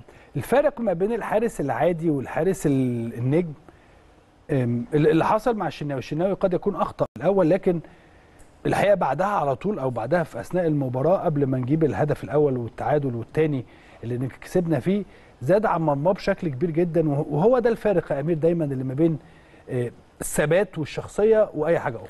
طب تعالى ناخد أول واحدة يا كابتن إسلام. الحارس المميز والحارس اللي هو بيصد عادي. آه. في فرق كبير. الحارس المميز ده اللي بيحافظ على نتيجة اللقاء. صحيح. وبيحول آه، آه، آه، م- يعني اتجاه اللقاء من هزيمة أو من أو من تعادل؟ حفاظ عليه من تعادل لمكسب. ده المميز اللي هو بيحافظ. أنا ماليش دعوة أنا فرقتي خسرانه كسبانه أنا بشيل النادي. مم. بشيل أي إنقاذ بيجي لي بشيله. وفي نفس الوقت الحارس اللي هو بيصد عادي ممكن يبقى بيصد ماتش آه، بعد كده بيغرق الفرقة زي ما بيقولوا كده بلغه الكوره فأنا شايف إن ال- ال- ال- الحارس المميز وخصوصا بيبقى في الأندية الكبيرة أكيد هيبقى ليه دور كبير جدا. مم. و... وطبيعي الحاجة الثانية اللي أنا عايز أتكلم فيها كابتن إسلام. اتفضل. لما يكون واحد زي الشناوي بقاله 3 4 سنين بيلعب أساسي مع المنتخب ومع النادي الأهلي وأفريقيا وبطولة آه، هنا وهنا وهنا وكأس مصر ودوري وإن هو يجي له خطأ في في خلال السنة مرة ده وضع طبيعي يعني إحنا. بنشوف حراس مرمى آه، كبار وعظام بيغلطوا. ما هو يعني ماتش مثلا آه، الجيش عمر آه، عمر رضوان من الحراس الممتازين ولكن هو ما كانش موفق في اللقاء مم. فأنا شايف من وجهة نظري الشناوي لا طبعا له دور كبير جدا وبنشوف ده في آه، يعني ماتشات كتيرة جدا بيبقى ليه دور مؤثر كبير جدا جدا وده طبعا ما يقللش من آه، مصطفى وعلي لطفي طبعا وحمزة فأنا شايف إن هم يعني ده يعني مش هنتكلم دلوقتي على الشناوي آه. لأنه حارس كبير وحارس ممتاز و لا أنا بشوف أنا أنا وجهة نظري يعني أنا حتى شفت جمهور الاهلي وجهة نظري ان الشناوي عمل مباراة جامدة جدا. طبعا. لأنه في كورة كانت هتبقى 2-0 طبعا. ما هو ده شالها. آه هو ده الفرق. فيه. ما هو ده اللي أنا بكلمك الفرق. فيه. ده الفرق. ده الفرق انك انت النهارده حارس مميز بيحافظ. يعني ممكن اغلط مم. بس هنتعادل. لكن بعد كده يبقى ليه دور في اللي بعديه. يعني فاهم يا كابتن اسامه ممكن اغلط في هدف. بالمناسبة أمير معلش عشان إحنا بنتكلم وهرجع اتكلم على الشناوي. تاني. عشان برضو ال- ال- الموضوع ده أصبح موضوع يعني يعني كلام كتير الناس كلام بتتكلم. كتير. آه مم. انت لو انت بصيت كده هل دي ضربة جزاء ولا مش ضربة جزاء؟ الكرة اللي فاتت هات الكرة اللي فاتت ودي كمان. ممكن نرجع من البداية خالص. هاتها من أولها كده علشان برضو إيه يعني هو حتى هنا الكابتن محمد عادل في الكرة دي بس خلص اتفضل. بص. الأولى لأ الثانية ممكن. صح؟ أيوه. أنا بشوف إن الأولى ركله جزاء. امم كمان ليه؟ لأنه خلاص الكرة في ايده. الكرة ما... الكرة قصدي sorry مش مسيطر عليها. بص. بص يا كابتن. أهو. هو هو. هو هو راح يمسك. okay.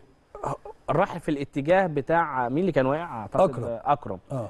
بص يا كابتن في ال... في ال... أهو دي الثانية دي اللي ممكن. آه. الأولى هو خلاص مسك. كل اللي بيعمل فيه عمر ده تلويش. تلويش من آه. البداية خالص. صح. هو هو لوش في الأولى. صح. فخلاته ياخد بص خلاه ياخد القرار في الثانية غلط. وعايز يعمل block. فهو خلاص بقى عايز يقابل الأي... عايز يجيب الكرة بأي طريقة. صح. فممكن أنا بشوف عكسك بقى. أنا بشوف إن بتاعت أكرم هدف آه sorry. وجهة نظري ان هي تحتسب ركلة جزاء لأن هو مش مسيطر على الكرة بشكل آه، 100% أهي بص يا اولا بص. آه بص. خلاص مش مسك. مسيطر لأ. آه. الكرة بتقع من إيده. تمام. في الأولى لو رجعت فخلاص فأكرم آه. وهو بيقع وهو واقف قام واخده ونازل بيه. بدليل حاجة هي دي اللي هو, قفلت عليه. هو. قريب. بص آه. من هنا هو خلاص مسك الك... كمل لا الهجمة. هنشوف. كملها كمل. خلاص هو طلع يمسك الكورة. ماشي. أكرم راح في الاتجاه لا بتاعه. أكرم واقف. سيبك من هي وقعت. أكرم هم واقف. خبطوا في بعض. تمام؟ دي. لا هو مين اللي رايح لأكرم؟ هو رايح لأكرم. بالظبط. وأكرم رايح له برضه في نفس لا، الاتجاه. أكرم وقف. حتى أكرم- الكابتن بص الكابتن محمد عادل شايف الكورة حسب على الثانية بص. okay. يعني هو حتى الفار اداله في الثانية هو هنا المفروض ما كانش يدي أساسا. يعني أنا اللي أنا بشوفه انه بص ايده هنا فين بص بص. دي الثانية دي الثانية آه. آه دي الثانية لو جبت الأولى هات أكرم. آه. لما لما في الأول راح رايحين الاثنين في اتجاه واحد. لو جبت أكرم تاني معلش يا كابتن إسلام لو رجعت تاني جماعة هاتوا أكرم. هتلاقي آه. الاثنين رايحين في الاتجاه ال- مع بعض. ده رايح. لده وده رايح لده. آه. بص. لا لا يا راجل يا راجل يا راجل يا ده بص. ده ملو... ده الكرة بعيد عن إيده. لا رجعها سنة سنة. رجعها أيوة. سنة معلش بعد إذنك. وهات التصوير اللي ورا. وهات التصوير اللي لا أنا ب... لا بالعكس. ده هي من قدام باينة. تمام. اللي من ورا مش أهو الكره الكره مش في إيديه. بص يا كابتن ال- بص بص ماشي. هو خلاص بص هنا. بص بص. اقف بقى مش. في إيديه. وقعت. حلو. و- عمل إيه هو؟ طبيعي طبيعي وهو نازل خبط أكرم. بص في بالكوع لا ده مش شايف؟ طبيعي خالص. بص بص. إيه يا آه. راجل؟ يا راجل.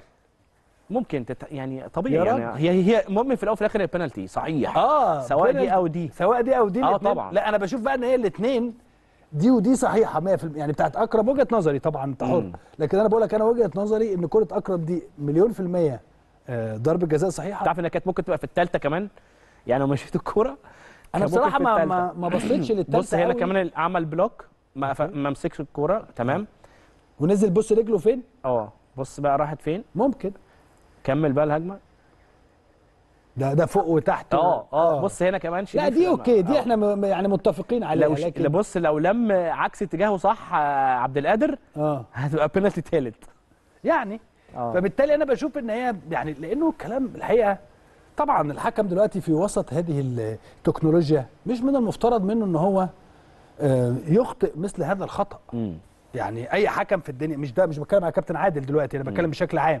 إن خلاص بقى معاك تكنولوجيا ومعاك حد يقول لك ارجع وبص وشوفها بص طبعا الفار مهم جدا بس هي في الآخر أنت بتقول إن هي مش ركلة جزاء من وجهة مم. نظرك مم. اللي هي الكرة الأولانية كنت شايف إن دي ركلة جزاء صحيحة بس عشان هياخدوا كلامك يقطعوه في مليون حتة لكن آه. هي أنت شايف إن هي ركلة جزاء صحيحة الثانية طبعا صحيح طبعاً. 100% ممكن الأولى كمان يعني بس أنا بتكلم على يعني النادي الأهلي عمره ما بيشحت جول ولا هدف أنت عارف. طبيعي بالظبط ده. النادي الأهلي بالعكس الفار آه، كتير جدا بيجي عليه بيجي على النادي الأهلي صحيح لأن النادي الأهلي هو دايما خلاص الرغبة للنادي الأهلي إن أنا نازل هكسب مم. المشكلة بقى في إنك أنت م- يعني شفنا في- ماتشات كتيرة جدا أفتكر في ماتش أش... أيمن أشرف في جول كانت ال goal- الجيش. تقريبا اللي هو طلع حط الكورة. اتحسبت فاول على أيمن أشرف مع إن دي ما ما ما عمرها ما تتحسب وشفنا ماتشات كتير جدا بتبقى ما فيهاش offside وبتتحسب offside يعني في حاجات عكسية النادي النادي الأهلي دايما بيبقى عايز إن هو حقه مش. أكتر من كده مش أكتر من حقه إحنا كل اللي. إحنا عايزينه العدالة التحكيمية بغض النظر عن ال- الاختلافات ما بين وجهات النظر لكن في النهاية كرة زي دي هي ركلة جزاء لا، ركلة جزاء طبعا. يجب أن يتم احتسابها لو ما اتحسبتش يا كابتن إسلام في الأولى هي في الثانية كمان آه يعني مش الأولى الثانية لو أنت آه لو أنت مثلا في وجهة نظرك لو أنا عديت الأولى يبقى الثانية يبقى الثانية لو لو مش الثانية يبقى. الأولى خلاص. آه يعني كده كده في ركلة يعني جزاء اثنين أنت بتتكلم في اتنين يعني two options زي ما بيقولوا آه والثالثه لو هو أحمد عبد القادر خد عمر هو كابتن صفر بقى لما لقى أحمد عبد القادر خدها كده يمين. الكابتن محمد هو آه، حتى في. الأول ما حسبش. فقال لك الثانية مش معقولة مش هحسب يعني لأن هي باينة. الثانية كمان واضحة وصريحة. okay. اللي هو يعني سواء دي أو دي ففي الأول وفي الآخر هو بينالتي يعني. طيب أخيرا يا أمير لو عايز بقى تقول أي حاجة لكل جمهور النادي الأهلي ولفريق كرة القدم في النادي الأهلي لأنه الفترة اللي جاية فترة صعبة. طبعا. و يعني أنت بتلعب في وسط كأس العالم. بالمناسبة قبل بس ما أختم معاك أنت شايف إيه رأيك أو وجهة نظرك في إنه يكون هناك مباريات بتلعب في الدوري في وسط مباراه كأس العالم. آه دي حاجة كويسة جدا طبعا. كويسة. آه طبعا. أوكي. لأن أنت خلاص ال- ال- الاستمراريه ما زالت. ما أنت لو. منتخب مصر موجود في كأس في كأس العالم ما كنتش هتلعب تكمل أوكي. الدوري. صح. لكن أنت النهارده إحنا بنعاني كمان في سوء تنظيم. يعني أنت دلوقتي بتعاني في صحيح. سوء تنظيم وفي الأول وفي يعني الآخر هتفرق تنظيميا في آخر السنة خمسة أو طبعاً. ستة إن أنت تخلص في شهر خمسة أو ستة بالكتير. بالظبط. وخصوصا بقى أنت فريق زي النادي الأهلي فريق اللي هي نادي الزمالك اللي فريق بتلعب في أفريقيا خصوصا النادي الأهلي. انت بتلعب في أفريقيا بتلعب كاس بتلعب دوري وبعد كده تروح داخل على كأس عالم الانديه ففي إرهاق كبير جدا وبعدين تروح جاي معسكر منتخب. اللعيبه دي كلها ما بتريحش بتروح داخلة على معسكرات. وشفناه في كأس العالم آه، الأندية الأخير آه، إن أنت لعيبة جات لك في آخر آه، قبل الماتش بكام ساعة. فبالتالي أعتقد إن يعني ده هيبقى حاجة تنظيمية كويسة. وأعتقد إن ال- الناس اللي مسؤولين في الرابطة ليهم دور وناس فاهمة أكيد هينظموا الدنيا. فأنا شايف إن الاستمرارية شغالة عادي مفيش مشكلة ودي حاجة هتبقى كويسة يعني للكرة المصرية يعني الفترة الجاية. أخيرا لو حابب تقول أي حاجة يا أمير. طبعا أنا يعني عايز أقول إن جمهور النادي النادي جمهور النادي الأهلي آه، جمهور كبير وساعات بيقلق. وده طبيعي لما الفرق يحصل فيها دروب. طبيعي. عايز أوضح حاجة بس سريعا يا. كابتن إسلام. السنة اللي فاتت أو نقول نهاية الدوري السنة اللي فاتت كان في مشاكل وكان في قلق وبعد كده ال- آه، مجلس الاداره كابتن خطيب ابتدى يلعب بالناشئين عشان يريح الناس اللي هي ال- الدولية. آه، طبيعي إن الجمهور كان يقلق ساعتها. النهارده آه، اللعيبة ارتاحت. اللعيبة آه، اللي كانت مصابة رجعت تاني. آه، وده الطبيعي إن كانت الفترة الجاية لازم مسانده أكبر أيوة. آه، للعيبة وللجهاز الفني لأن طبعا الفترة الجاية زي ما بتقول يا كابتن إسلام الأمور صعبة ومسؤولية كبيرة جدا وشفنا علي معلول خلص المنتخب تاني يوم كان موجود في التمرين. صحيح. فدي مسؤولية. يعني مسؤولية إن هو عارف أيوة. بيلعب باسم نادي كبير زي النادي الأهلي وجمهور كبير زي جمهور النادي الأهلي وتيشيرت كبير زي تيشيرت النادي الأهلي. فطبيعي إن هو تاني يوم المفروض في ناس تقول لك أنا هريح يوم يومين ثلاثة لا هو رجع رجع على طول موجود. وانضم وموجود. دي مسؤولية. فأنا شايف إن اللي جاي هيبقى صعب جدا ومحتاجين كل لاعب جوه آه، التيم في في النادي الأهلي. واتمنى المسانده أكبر من الجمهور لأن الجمهور ده هو عنصر مهم جدا جدا لعيبة النادي الأهلي والنادي الأهلي. فإن شاء الله ربنا يوفق النادي الأهلي والجمهور يبقى مساند أكتر الفترة الجاية الله. بإذن الله. أنا بشكرك جدا يا كابتن أمير على وجودك معانا ودايما بنستمتع بوجودك وبنستمتع بآرائك فبشكرك جدا وكل التوفيق ليك خلال الفترة اللي جاية يا رب إن شاء شكرا يا الله. كابتن إسلام أنا سعيد أنا كنت معاك النهارده ودايما ببقى مبسوط وأنا في بيتي في النادي الأهلي. طبعا. و... وإن شاء الله نتقابل على خير تاني إن شاء الله. يا رب إن شاء الله. أنا بشكرك شكرا جزيلا. نجم الكبير كابتن أمير عبد الحميد. هنطلع فاصل وبعد هذا الفاصل إيهاب الجنيدي الناقد الرياضي ومصطفى صابر محلل الكرة العالمية في ضيافة البيت الكبير أيضا في كواليس المونديال وكلام هام جدا وإحصائيات وأرقام خاصة بمباريات اليوم ومباريات غدا. بعد الفاصل إيهاب الجنيدي ومصطفى صابر في ضيافة البيت الكبير في كواليس المونديال. أهلا وسهلا بحضراتكم مرة أخرى أعزائي المشاهدين. فقرة كواليس المونديال كل يوم بتكون مع حضراتكم من خلال برنامجكم البيت الكبير. خليني أرحب بضيوفي في هذه الفقرة قدنا الرياضي الأستاذ إيهاب الجنيد. ازيك يا أستاذ إيهاب؟ إزيك يا كابتن إسلام؟ منور ربنا يخليك سعداء جدا بوجودك معانا. معاك. ربنا يخليك أيضا الأستاذ مصطفى صابر محلل الكرة العالمية. ازيك يا أستاذ أهلا مصطفى بيك يا كابتن كله. تمام؟ مبسوط إن أنا معاك النهارده. مبسوط إن أنا مع إيهاب. ربنا يخليك يا حبيبي. وكالعادة أيضا نستعرض مع حضراتكم نتائج مباريات اليوم بس بدل ما هيبقوا أربعة هنتكلم بقى في مباراتين مباراتي فرنسا وبولندا المنتخب الفرنسي بيفوز على المنتخب البولندي بثلاثية مقابل هدف وحيد. أيضا المنتخب الإنجليزي بيفوز على المنتخب السنغالي بثلاثية آه، مقابل لا شيء. مباراة كانت أو مباراتين كانوا صعبين جدا. خلوني أبدأ يا أستاذ إيهاب مع حضرتك بمباراة إنجلترا والسنغال آم، لأنها يعني المباراة اللي لسه خالصة من شوية فخلينا نتكلم عنها بشكل أكبر. نستعرض طبعا تشكيل الفريقين. شفت هذه المباراة إزاي؟ في ظل أن يعني الكل كان متوقع أداء أفضل للمنتخب السنغالي. آه هو المنطق يا كابتن فرض نفسه. آه جاريث ساوث جيت تعامل بذكاء مع المباراة. من أرقام المباراة اللي يمكن شوية تتعرض ونشوفها آه استحواذ آه كان ممكن المنتخب الإنجليزي ولكن فرص الأهداف كانت أكتر لمنتخب السنغال ولكن ما قدروش يسيطروا آه يحولوا الاستحواذ ده والسيطرة بتاعتهم وفرص الأهداف بتاعتهم لأهداف ملموسة بالفعل. آه. المنتخب الإنجليزي قدر يسجل ثلاث أهداف ثلاث أهداف جميلة. ال- الشيء اللي ملحوظ يا كابتن الثلاث أهداف من هجمات مرتدة. أوكي. وده بيعكس سير المباراة كان ماشي إزاي.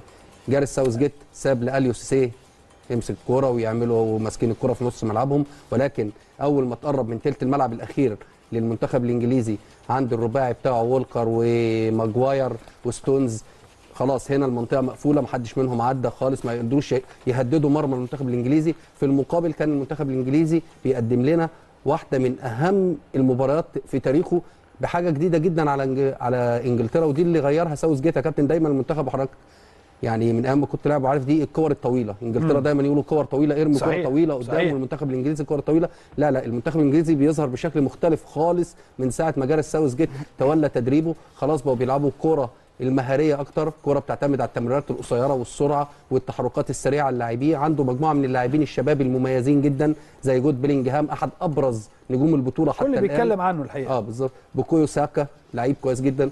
المخضرم طبعا هاري كين بخبراته الكبيرة اللي بيعتمدوا عليه مش مش لا يعني هو راس حربة صريح ولكن دوره في المنتخب الإنجليزي أكتر من كده بكتير. قدروا النهارده يسجلوا ثلاث أهداف جميلة عبر هندرسون قائد ليفربول ونجم وسط المنتخب الانجليزي وبعديه آه هاري كين وبوكو- وبوكويو ساكا في الشوط ال- بداية الشوط الثاني قتلوا المباراة خالص بالهدف الثالث.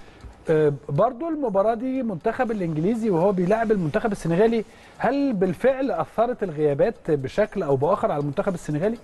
المنتخب السنغالي عنده عناصر كتيرة من المحترفين ويمكن أبرزهم هو ساديو ماني وده اللي هنتكلم عنه إن هو ساديو ماني أكبر قوة هجومية في المنتخب السنغالي. بس, يعني بس هو كسب ثلاث أو يعني كسب آه. قدر يتأهل آه. بس بس برضه دور ال 16 بيحتاج لخبرات كبيرة. يا كابتن طبعا المنتخب ال- السن- ال- الإنجليزي عنده الخبرات دي كفاية عنده عنده تجارب كتيرة في كأس العالم ده اللي فرق معاه. هو بس أنا هلوم على اليو سيسي إن هو لعب باندفاع أكتر في الشوط. الأول. ده اللي يمكن خلاه يجي عليه بهجمتين بهدفين زي ما إيهاب قال. بصراحة المنتخبات كلها حتى المنتخبات الكبيرة يا كابتن بتلعب حتى فرنسا النهارده. بعد ما جابت الجون سابت الاستحواذ لبولندا. كل المنتخبات بتلعب medium block من نص الملعب. هتيجي بس أنا هلعب بالسرعه بالسرعات عليك. طيب كويس إن أنت فتحت هذا الأمر لأنه موضوع مهم جدا. هل ده معناه إن أنا كمنتخب كبير يهمني إن في وسط هذه المباريات ال- المضغوطة جدا؟ جدا.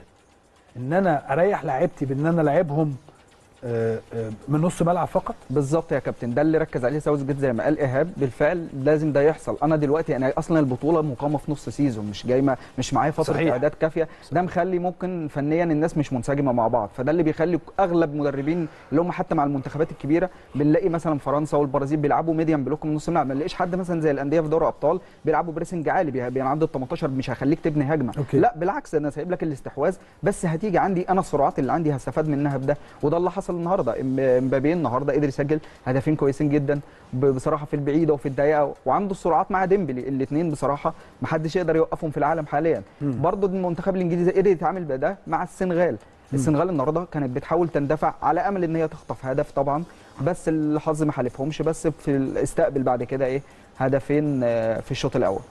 طيب هل كان من الممكن يا إيهاب إن إحنا المنتخب السنغالي النهارده يستطيع أن يفوز على المنتخب الإنجليزي ولا إحنا آه، طموحاتنا كأفارقة راحت لبعيد شوية آه، يمكن منتخب السنغال ومنتخب المغرب رفعوا سقف طموحاتنا في البطولة بالظبط. ولكن كان من الأفضل يعني هو تعامل بشكل خاطئ مع المباراة آه. يعني زي مصطفى بيقول أليو سيسي أنا من بداية البطولة كابتن بقول ليس هو المدرب اللي يقود منتخب السنغال مع احترامي للجميع ومع احترامي لكل اللي 12 اللي سنة عمله يعني أكتر منتخب يمكن، بالظبط شوية يعني أكتر. كفاية قوي يا كابتن كفاية كفاية اللي انت عملته مع منتخب السنغال. لا بالعكس. ده في ناس تقول لك يعني مشروع. وكمل آه. مشروع ومكمل آه. خلاص كده ما بيقدمش بس جديد. العناصر النهاردة- اللي عنده تفيده أكتر آه. آه، النهارده المباراة يعني واضح إن المدرب عاجز عن قراءة المباراة. أهم حاجة في المدرب أنت بتقرأ المباراة اللي قدامك بتقرأ الخصم اللي قدامك. المنتخب الإنجليزي ليه طريقة لعب معروفة. كان لازم وليه مفاتيح لعب معينة كان لازم يقفلها. مفيش مش عيب ابدا إن أنا ألعب النهارده zo- zone defense أو اقفل منطقتي وأوصل لضربات جزاء. جايز يحالفني التوفيق فيها. عندي إدوارد ميندي أحسن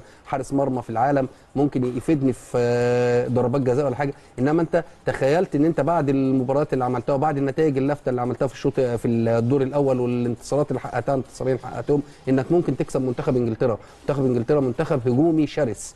يعني من أبرز ال- المنتخبات هجوميا حتى الآن عدد الأهداف اللي أحرزها حتى يا كابتن هو وفرنسا من أقوى المنتخبات الهجومية في البطولة. فما كانش ينفع يلعب قدامهم بالطريقة دي. طيب قبل بس ما ننتقل ل أم، مباراة أخرى خلينا نروح لإحصائيات المباراة. إحصائيات المباراة النهاردة لأنها كلها إحصائيات الحقيقة تقدر تورينا شكل المباراة كان ماشي إزاي والدنيا ماشية إزاي. إحصائيات المباراة هي أمام حضراتكم. يعني طبعا ثلاث أهداف بالنسبة للمنتخب الإنجليزي ال- ال- الفرص والأهداف. الأهداف المتوقعة نسبة الاستحواذ 40 آه، 60 المنتخب طب حتى نسبة الاستحواذ مش مع المنتخب السنغالي. آه. مصطفى. آه آه زي ما حضرتك قلت يا كابتن هو بس يمكن في الشوط الأول اللي فرق في ال- بس بس هي الفكرة كلها الفرص on target ما فيش zero هو وصل للجون ثلاث مرات بس مش on target آه. ما فيهاش أي خطورة على المرمى إنجلترا. آه. هو ده اللي أنا بقوله. زي ما إيهاب قال كان ممكن ألعب counter attack وأستغل. إسماعيل يسار محترف طبعا في الدوري الإنجليزي وطبعا من أسرع اللعيبة في ال counter attack أنا صحيح. إسماعيل يسار قبل كده لعب قدام ليفربول. بصراحة سجل أهداف وده قدر يستغل سرعته إن هو بيلعب في بال counter attack هو سريع يقدر يستفيد بالكورة بالسرعات بتاعته إن هو يطلع من الدفاع للهجوم. آه. ليه أنا ما استغلش أنا بالعكس لا ده أنا غطى عليه من قدام. ده عكس أسلوبي وفي نفس الوقت أنا بلاعب منتخب كبير زي منتخب إنجلترا. ما ينفعش ابدا أضغط عليه من قدام. مع أي قطعة كورة ده اللي هيحصل وده اللي بالظبط حصل إن هيجي فيا هدف أو هجمة خطيرة وده اللي حصل. سقوط هاري كين في نص الملعب قدر يفت... يسحب معاه مدافعين أصلا من السنغال ويشكل فجوة كبيرة قوي وده اللي استغلها المنتخب الإنجليزي. بمناسبة إن إحنا بنتكلم عن هاري كين هو خد رجل المباراة. يستحق طبعا. يستحق. فنيا آه فنيا هو بيقدم دور فني رهيب. يمكن أول هدف ليه ده بس ثالث assist ليه مع المنتخب. آه. آه، قدر يصنع وقدر بس فنيا بيسقط لتحت بيسقط معاه بيشتت أي دفاع في العالم. هاري كين دلوقتي قيمة كبيرة جدا وزي ما إيهاب قال مخضرم ولاعب كبير جدا ويقدر يكسر أي دفاع بال- بالعرض. اذا المنتخب الإنجليزي كان يستحق يا إيهاب إن هو يكون في الدور الثمانية. يستحق تماما يا فندم. يستحق تماما المنتخب الإنجليزي أحد المنتخبات القوية جدا في البطولة. ولكن حتى الآن ما قابلش منتخب برضه نقول إيه top 1 بالظبط. هو ده اللي يعني أنا آه. هي آه المعركة الكبرى هي المعركة دور الثمانيه مع المنتخب الفرنسي حامل اللقب أبطال العالم. هنا هنقدر نقول المنتخب الإنجليزي هل هيقدر هل هو فعلا مرشح للقب؟ زي ما قالوا قبل البطوله وزي الترشيحات أحد المنتخبين المرشحين ال squad بتاعه كابتن هو اللي رشحه للقب. يعني وخلي بالك إن جاريث ساوثجيت الماتش ده عمل شيء مهم جدا. دفع من البداية بفيل فودن انت زي ما حضرتك متابع الفترة كل الأيام اللي فاتت في انتقادات قوية جدا لساوث جيت عشان النجم الكبير جدا بتاع مانشستر سيتي فيل فودن إزاي حطه على الدكة وازاي فودن ما بيلعبش ونجوم إنجلترا القدام بينتقدوه. ليه فودن ما بيلعبش؟ النهارده رد حط ده كله خلاص هو بدأ ي- يخش أكتر في أجواء البطولة يعتمد على اللعيبة اللي ممكن تخلص معاه اللعيبة المتألقة فدفع من البداية بفيل فودن. النهارده كابتن كان الثلاثي الهجومي متميز جدا في منتخب نعم. يعني نعم. فودن وهاري كي- كين جنبيه ووراهم بيلينجهام عاملين شغل وبوكايو ساكا طبعا قدام هو كمان فكان ثلاثي قوي جدا. حتى الاحتياطي بتاعه عنده راشفورد وعنده لعيبة تقيلة جدا فهو squad squad عالي. squad عالي squad يرشحه إنه ممكن ياخد البطولة. بس ده إمتى هنقوله؟ من المباراة المقبلة مع منتخب فرنسا.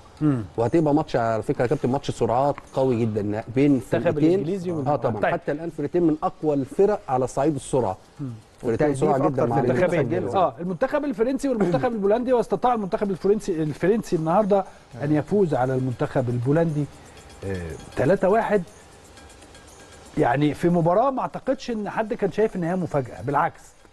بالطبع طبعا يا كابتن. بولندا ممكن ما بتقدمش أحسن مستوى فنيا. يمكن أنا كنت أتمنى إن المكسيك أو السعودية تصعد من المجموعة. كان هيقدموا مستوى أعلى. بالذات المكسيك. المكسيك أسرع بكتير. اللي عندهم عناصر هايلة جدا. يقدروا يلعبوا. يجاروا فرنسا. النهارده شفنا المنتخب البولندي مش بيجاري فرنسا في أي حاجة. إمبابي لما كان بينطلق ما حدش بيجري. مبابي هداف البطولة. خمس أهداف آه، دلوقتي. خ- وتخطى بالمناسبة يا كابتن. وصل لتسع أهداف في كأس العالم. بيتخطى رونالدو. وبيتعادل مع ميسي. وبيعدي أساطير كبير زي زيدان وبيليه ومارادونا بيعديهم في الأهداف.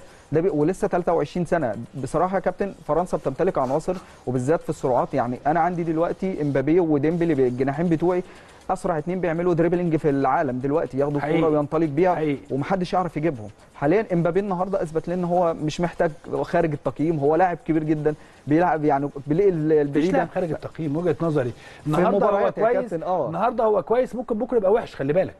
ده طبيعي يا آه. كابتن. ده طبيعي إن كل واحد بيطلع وبينزل. بس إمبابي بقاله كام موسم ريال مدريد هيموت آه. عليه. آه يعني بصراحة هو لاعب متألق على مدى المواسم اللي فاتت وده يخلي إن العالم كله بيتكلم عليه. كان قريب فترة برده من ليفربول. الفكرة كلها برده يا كابتن نرجع نقول إن إمبابي من أفضل أحسن لعيبه من أفضل لعيبة في العالم حاليا. وبصراحة بسرعته بالكورة بصراحة هو وديمبلي الاثنين هيشكلوا خطورة جدا على المنتخب الإنجليزي في الماتش الجاي. بس قدام بولندا كانت فرق مستويات باين جدا وده اللي رجح الكفة لناحية فرنسا. برضه المنتخب الفرنسي الكل كان بيراهن على المنتخب الفرنسي. يعني معروف يا إيهاب إن كانت دايما خلال ال- على الأقل الدورتين الأخيرتين الفريق اللي بياخد كأس العالم بي- بيخرج من دور ال مبكراً. 16 أو مبكرا يعني. آه، فرنسا أعتقد ان هي كسر- كسرت هذا الأمر. حتى الآن طبعا منتخب الآن يعني. فرنسا آه كسر طبعا النقطة دي. منتخب فرنسا كان بيقابل الفريق الوحيد من وجهة نظري الذي لا يستحق التواجد في كأس العالم.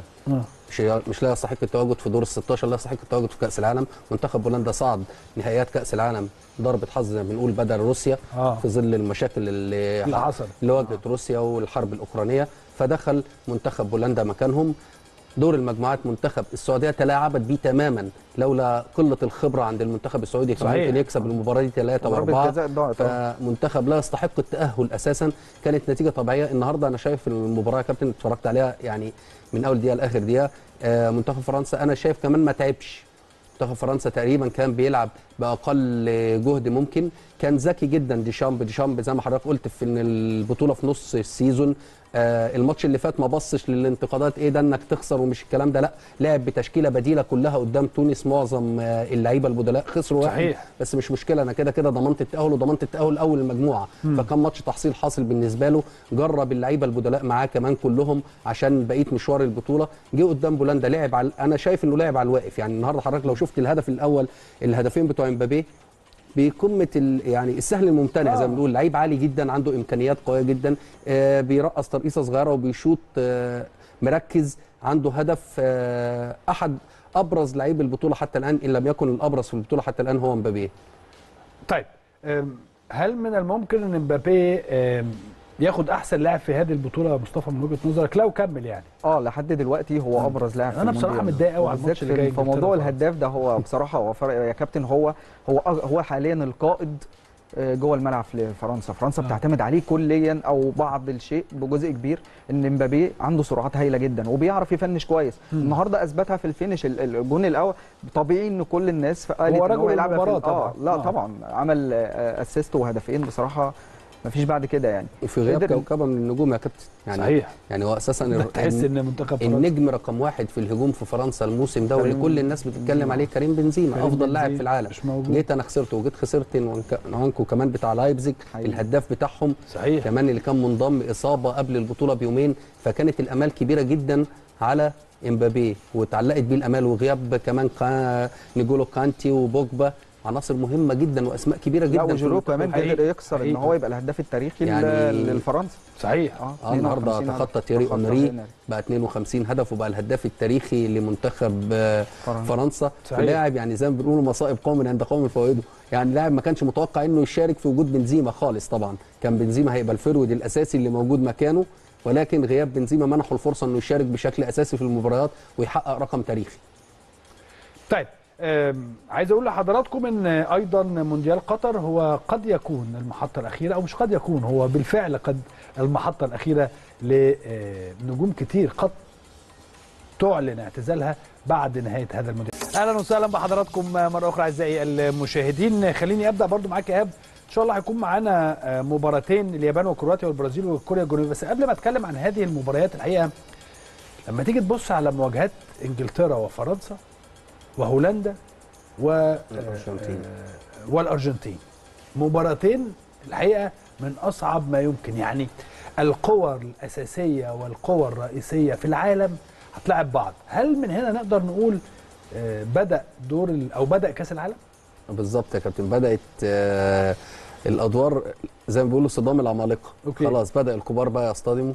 يعني أنا حتى ماتشين يا كابتن مش قادر يعني لو قلت لي مين هيكسب هنا وهنا صعب قوي أتوقع يعني منتخب الأرجنتين منتخب ليس هو الند القوي قوي اللي ظهر في البطولة مش هو ده التانجو ولكن عندهم أيقونة اسمها ميسي ميسي بيصنع المعجزات في المونديال ده وبيعمل كل حاجة آه. قائد فرقة عامل فرقة يعني فرقة أنا شايف متواضعة معاه رغم. أسماء النجوم الكبيرة okay. ولكن اللي ظهرت عليه في المونديال فرقة متواضعة يجرها قطار ميسي يا جراح يعني قطار ميسي هو هل. يستطيع أن يفوز على المنتخب الهولندي يا محمد آه طبعا يا كابتن يقدر يفوز بس هي الفكرة كلها هتبقى هتبقى ماتش. واحد مفيش مشكلة آه يعني. طبعا. هتبقى ماتش مدربين آه. أكتر طبعا هنا ميسي يرجح أي كفة طبعا بس فان خال ما أعتقدش إنه ممكن يفوز الماتش بسهولة. خاصة إن سكالوني أقل منه خبرة شوية وخاصة ممكن بي- بيبدأ بالماتشات دفاعيا مختلف شوية. يعني أنا مثلا شايف آه، هير- فرناند آه، مارتينيز لاعب مانشستر يونايتد الأحق ان هو يبدأ بالدفاع من بدايه الهجمة من أفضل اللعيبة اللي بتلعب الكرة عمودية ممكن يعمل يضرب بيها خط الدفاع والوسط ما- في كرة واحدة. بيعتمد عليه على دكة الاحتياط قدر يعمل block وينقذه من هدف التعادل الماتش اللي فات. okay. ده اللي أنا شايف إن هو بصراحة يعني لو اعتمد عليه في الدفاع أكتر أنا شايف ده هيساعده. بص أنا بشوف إن يعني فانخال واحد من المديرين الفنيين الكبار. تقال. آه مخضرم جدا. خبرته فيها سكالوني بالظبط. بما إنك بتتكلم هنا عن الأرجنتين إن إن ميسي هو اللي بيقود الأرجنتين بالظبط. انت بالتالي الناحية الثانية فانخال بيقود ال- المنتخب الهولندي ما تقدرش برضو تقول إن المنتخب الهولندي عنده ناس قادرة إن هي في أو يعني العناصر نجم. واحد هو برضو الكرة الجماعية شغاله بشكل أو بآخر هو- في هو بالظبط فعلا يا بالظبط يا كابتن كابتن. لا زال المنتخب الهولندي بيعتمد فكر الكرة الشاملة اللي اتعرف بيهم. أيام كرويف وقبليه عندهم team قوي جدا قوي جدا حارس مرمى متميز جدا جدا جدا من أفضل حراس المرمى في البطولة عندهم فان دايك مدافع طبعا آه، حدث ولا حرج طبعا. عندهم آه، اللاعب اللي. محير الناس دومفريس. يعني دومف- دومفريس آه يعني هل هو متميز قوي ولا الماتش اللي فات؟ أول لاعب يعمل كده مع هولندا يشارك في ثلاث أهداف اثنين آه. assist وجايب الجون الثالث الماتش بتاع الولايات المتحدة. آه عندهم كمان مع فان خال 11 مباراة في كأس عالم ما خسروش يا كابتن. آه. يعني ده ده رقم ده رقم مهم آه جدا ده رقم مميز. والت... يعني تعادلوا مباراة واحدة خسروها ضربات ترجيح. قدام مين؟ الارجنتين قدام الأرجنتين. طيب بما إننا بنتكلم عن هولندا خلينا نطلع نشوف مارك فوتا المدير الفني السابق لكثير من الأندية في مصر واحد من المدربين أيضا له بصمة مع المنتخب الهولندي وكان مساعد لفانخال. نشوفه قال إيه عن مباراة هولندا والولايات المتحدة الأمريكية وبيقول إيه عن مباراة هولندا والأرجنتين آه، كلاسيكو جديد في كأس العالم. نطلع نشوف ماذا قال مارك فوتا ونرجع نكمل مع حضراتكم مرة أخرى.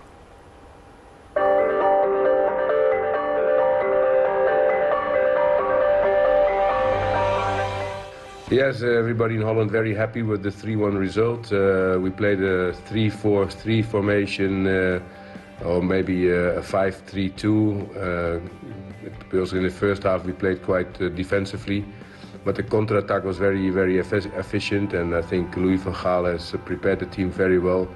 Don't give space to the to the quick and dynamic uh, American players and then be very uh, efficient in the counter-attack. So that created two fantastic goals, in my opinion. And then the second half, uh, we should have scored 3-0, but then they made it uh, a little bit difficult when they scored 2-1.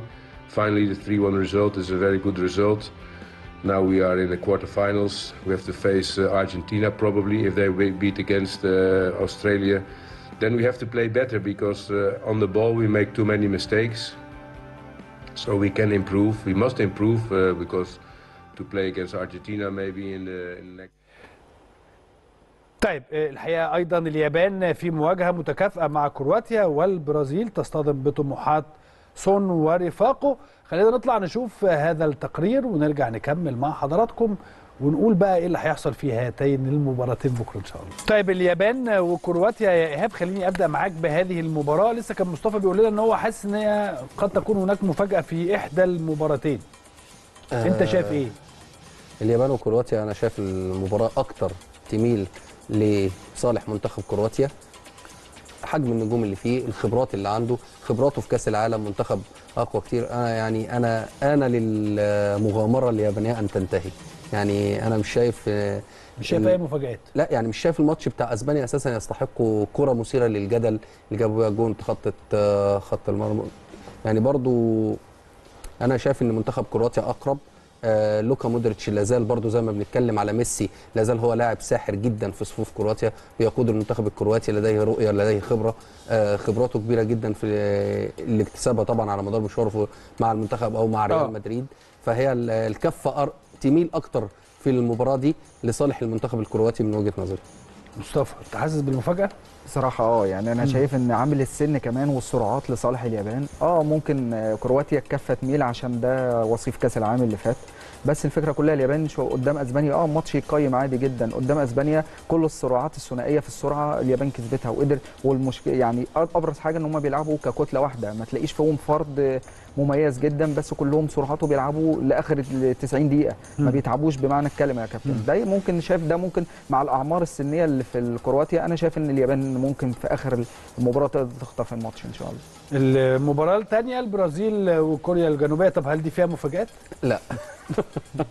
ولا خلاص إحنا في كأس يعني- العالم ده اتعودنا على المفاجآت. آه، أنا شايف آه، كفة المنتخب البرازيلي أقوى. زي ما كنت مع حضرتك الحلقة اللي فاتت شايف المنتخب البرازيلي برضه حتى الآن لا زال آه، المرشح الأقوى للقب بغض النظر عن الخسارة قدام منتخب الكاميرون المباراة اللي فاتت. منتخب البرازيل برضه سكواد عالي جدا فرص كتير جدا خلقها المباراة اللي فاتت ولم يحالفه التوفيق فيها. كمان هيعود له الساحر بتاعه نيمار بنسبة كبيرة جدا عاد للتدريبات والاتحاد البرازيلي لكرة القدم أعلن من امبارح عودته للتدريبات هيكون إضافة كبيرة جدا أول مباراة شكل تاني خالص مختلف قدام صربيا اللي شفناه مع نيمار عن المباراتين التانيين يعني برضو غياب نيمار يا كابتن مؤثر طبعاً. جدا على المنتخب. البرازيلي اسم كبير واللاعب هو اللي بيحرك كل كوكبة النجوم دول من المباراة الأولى بان إن نيمار هو اللي بيحركهم هو اللي بيحرك رباعي الهجوم القوي جدا هو اللي بيحركهم.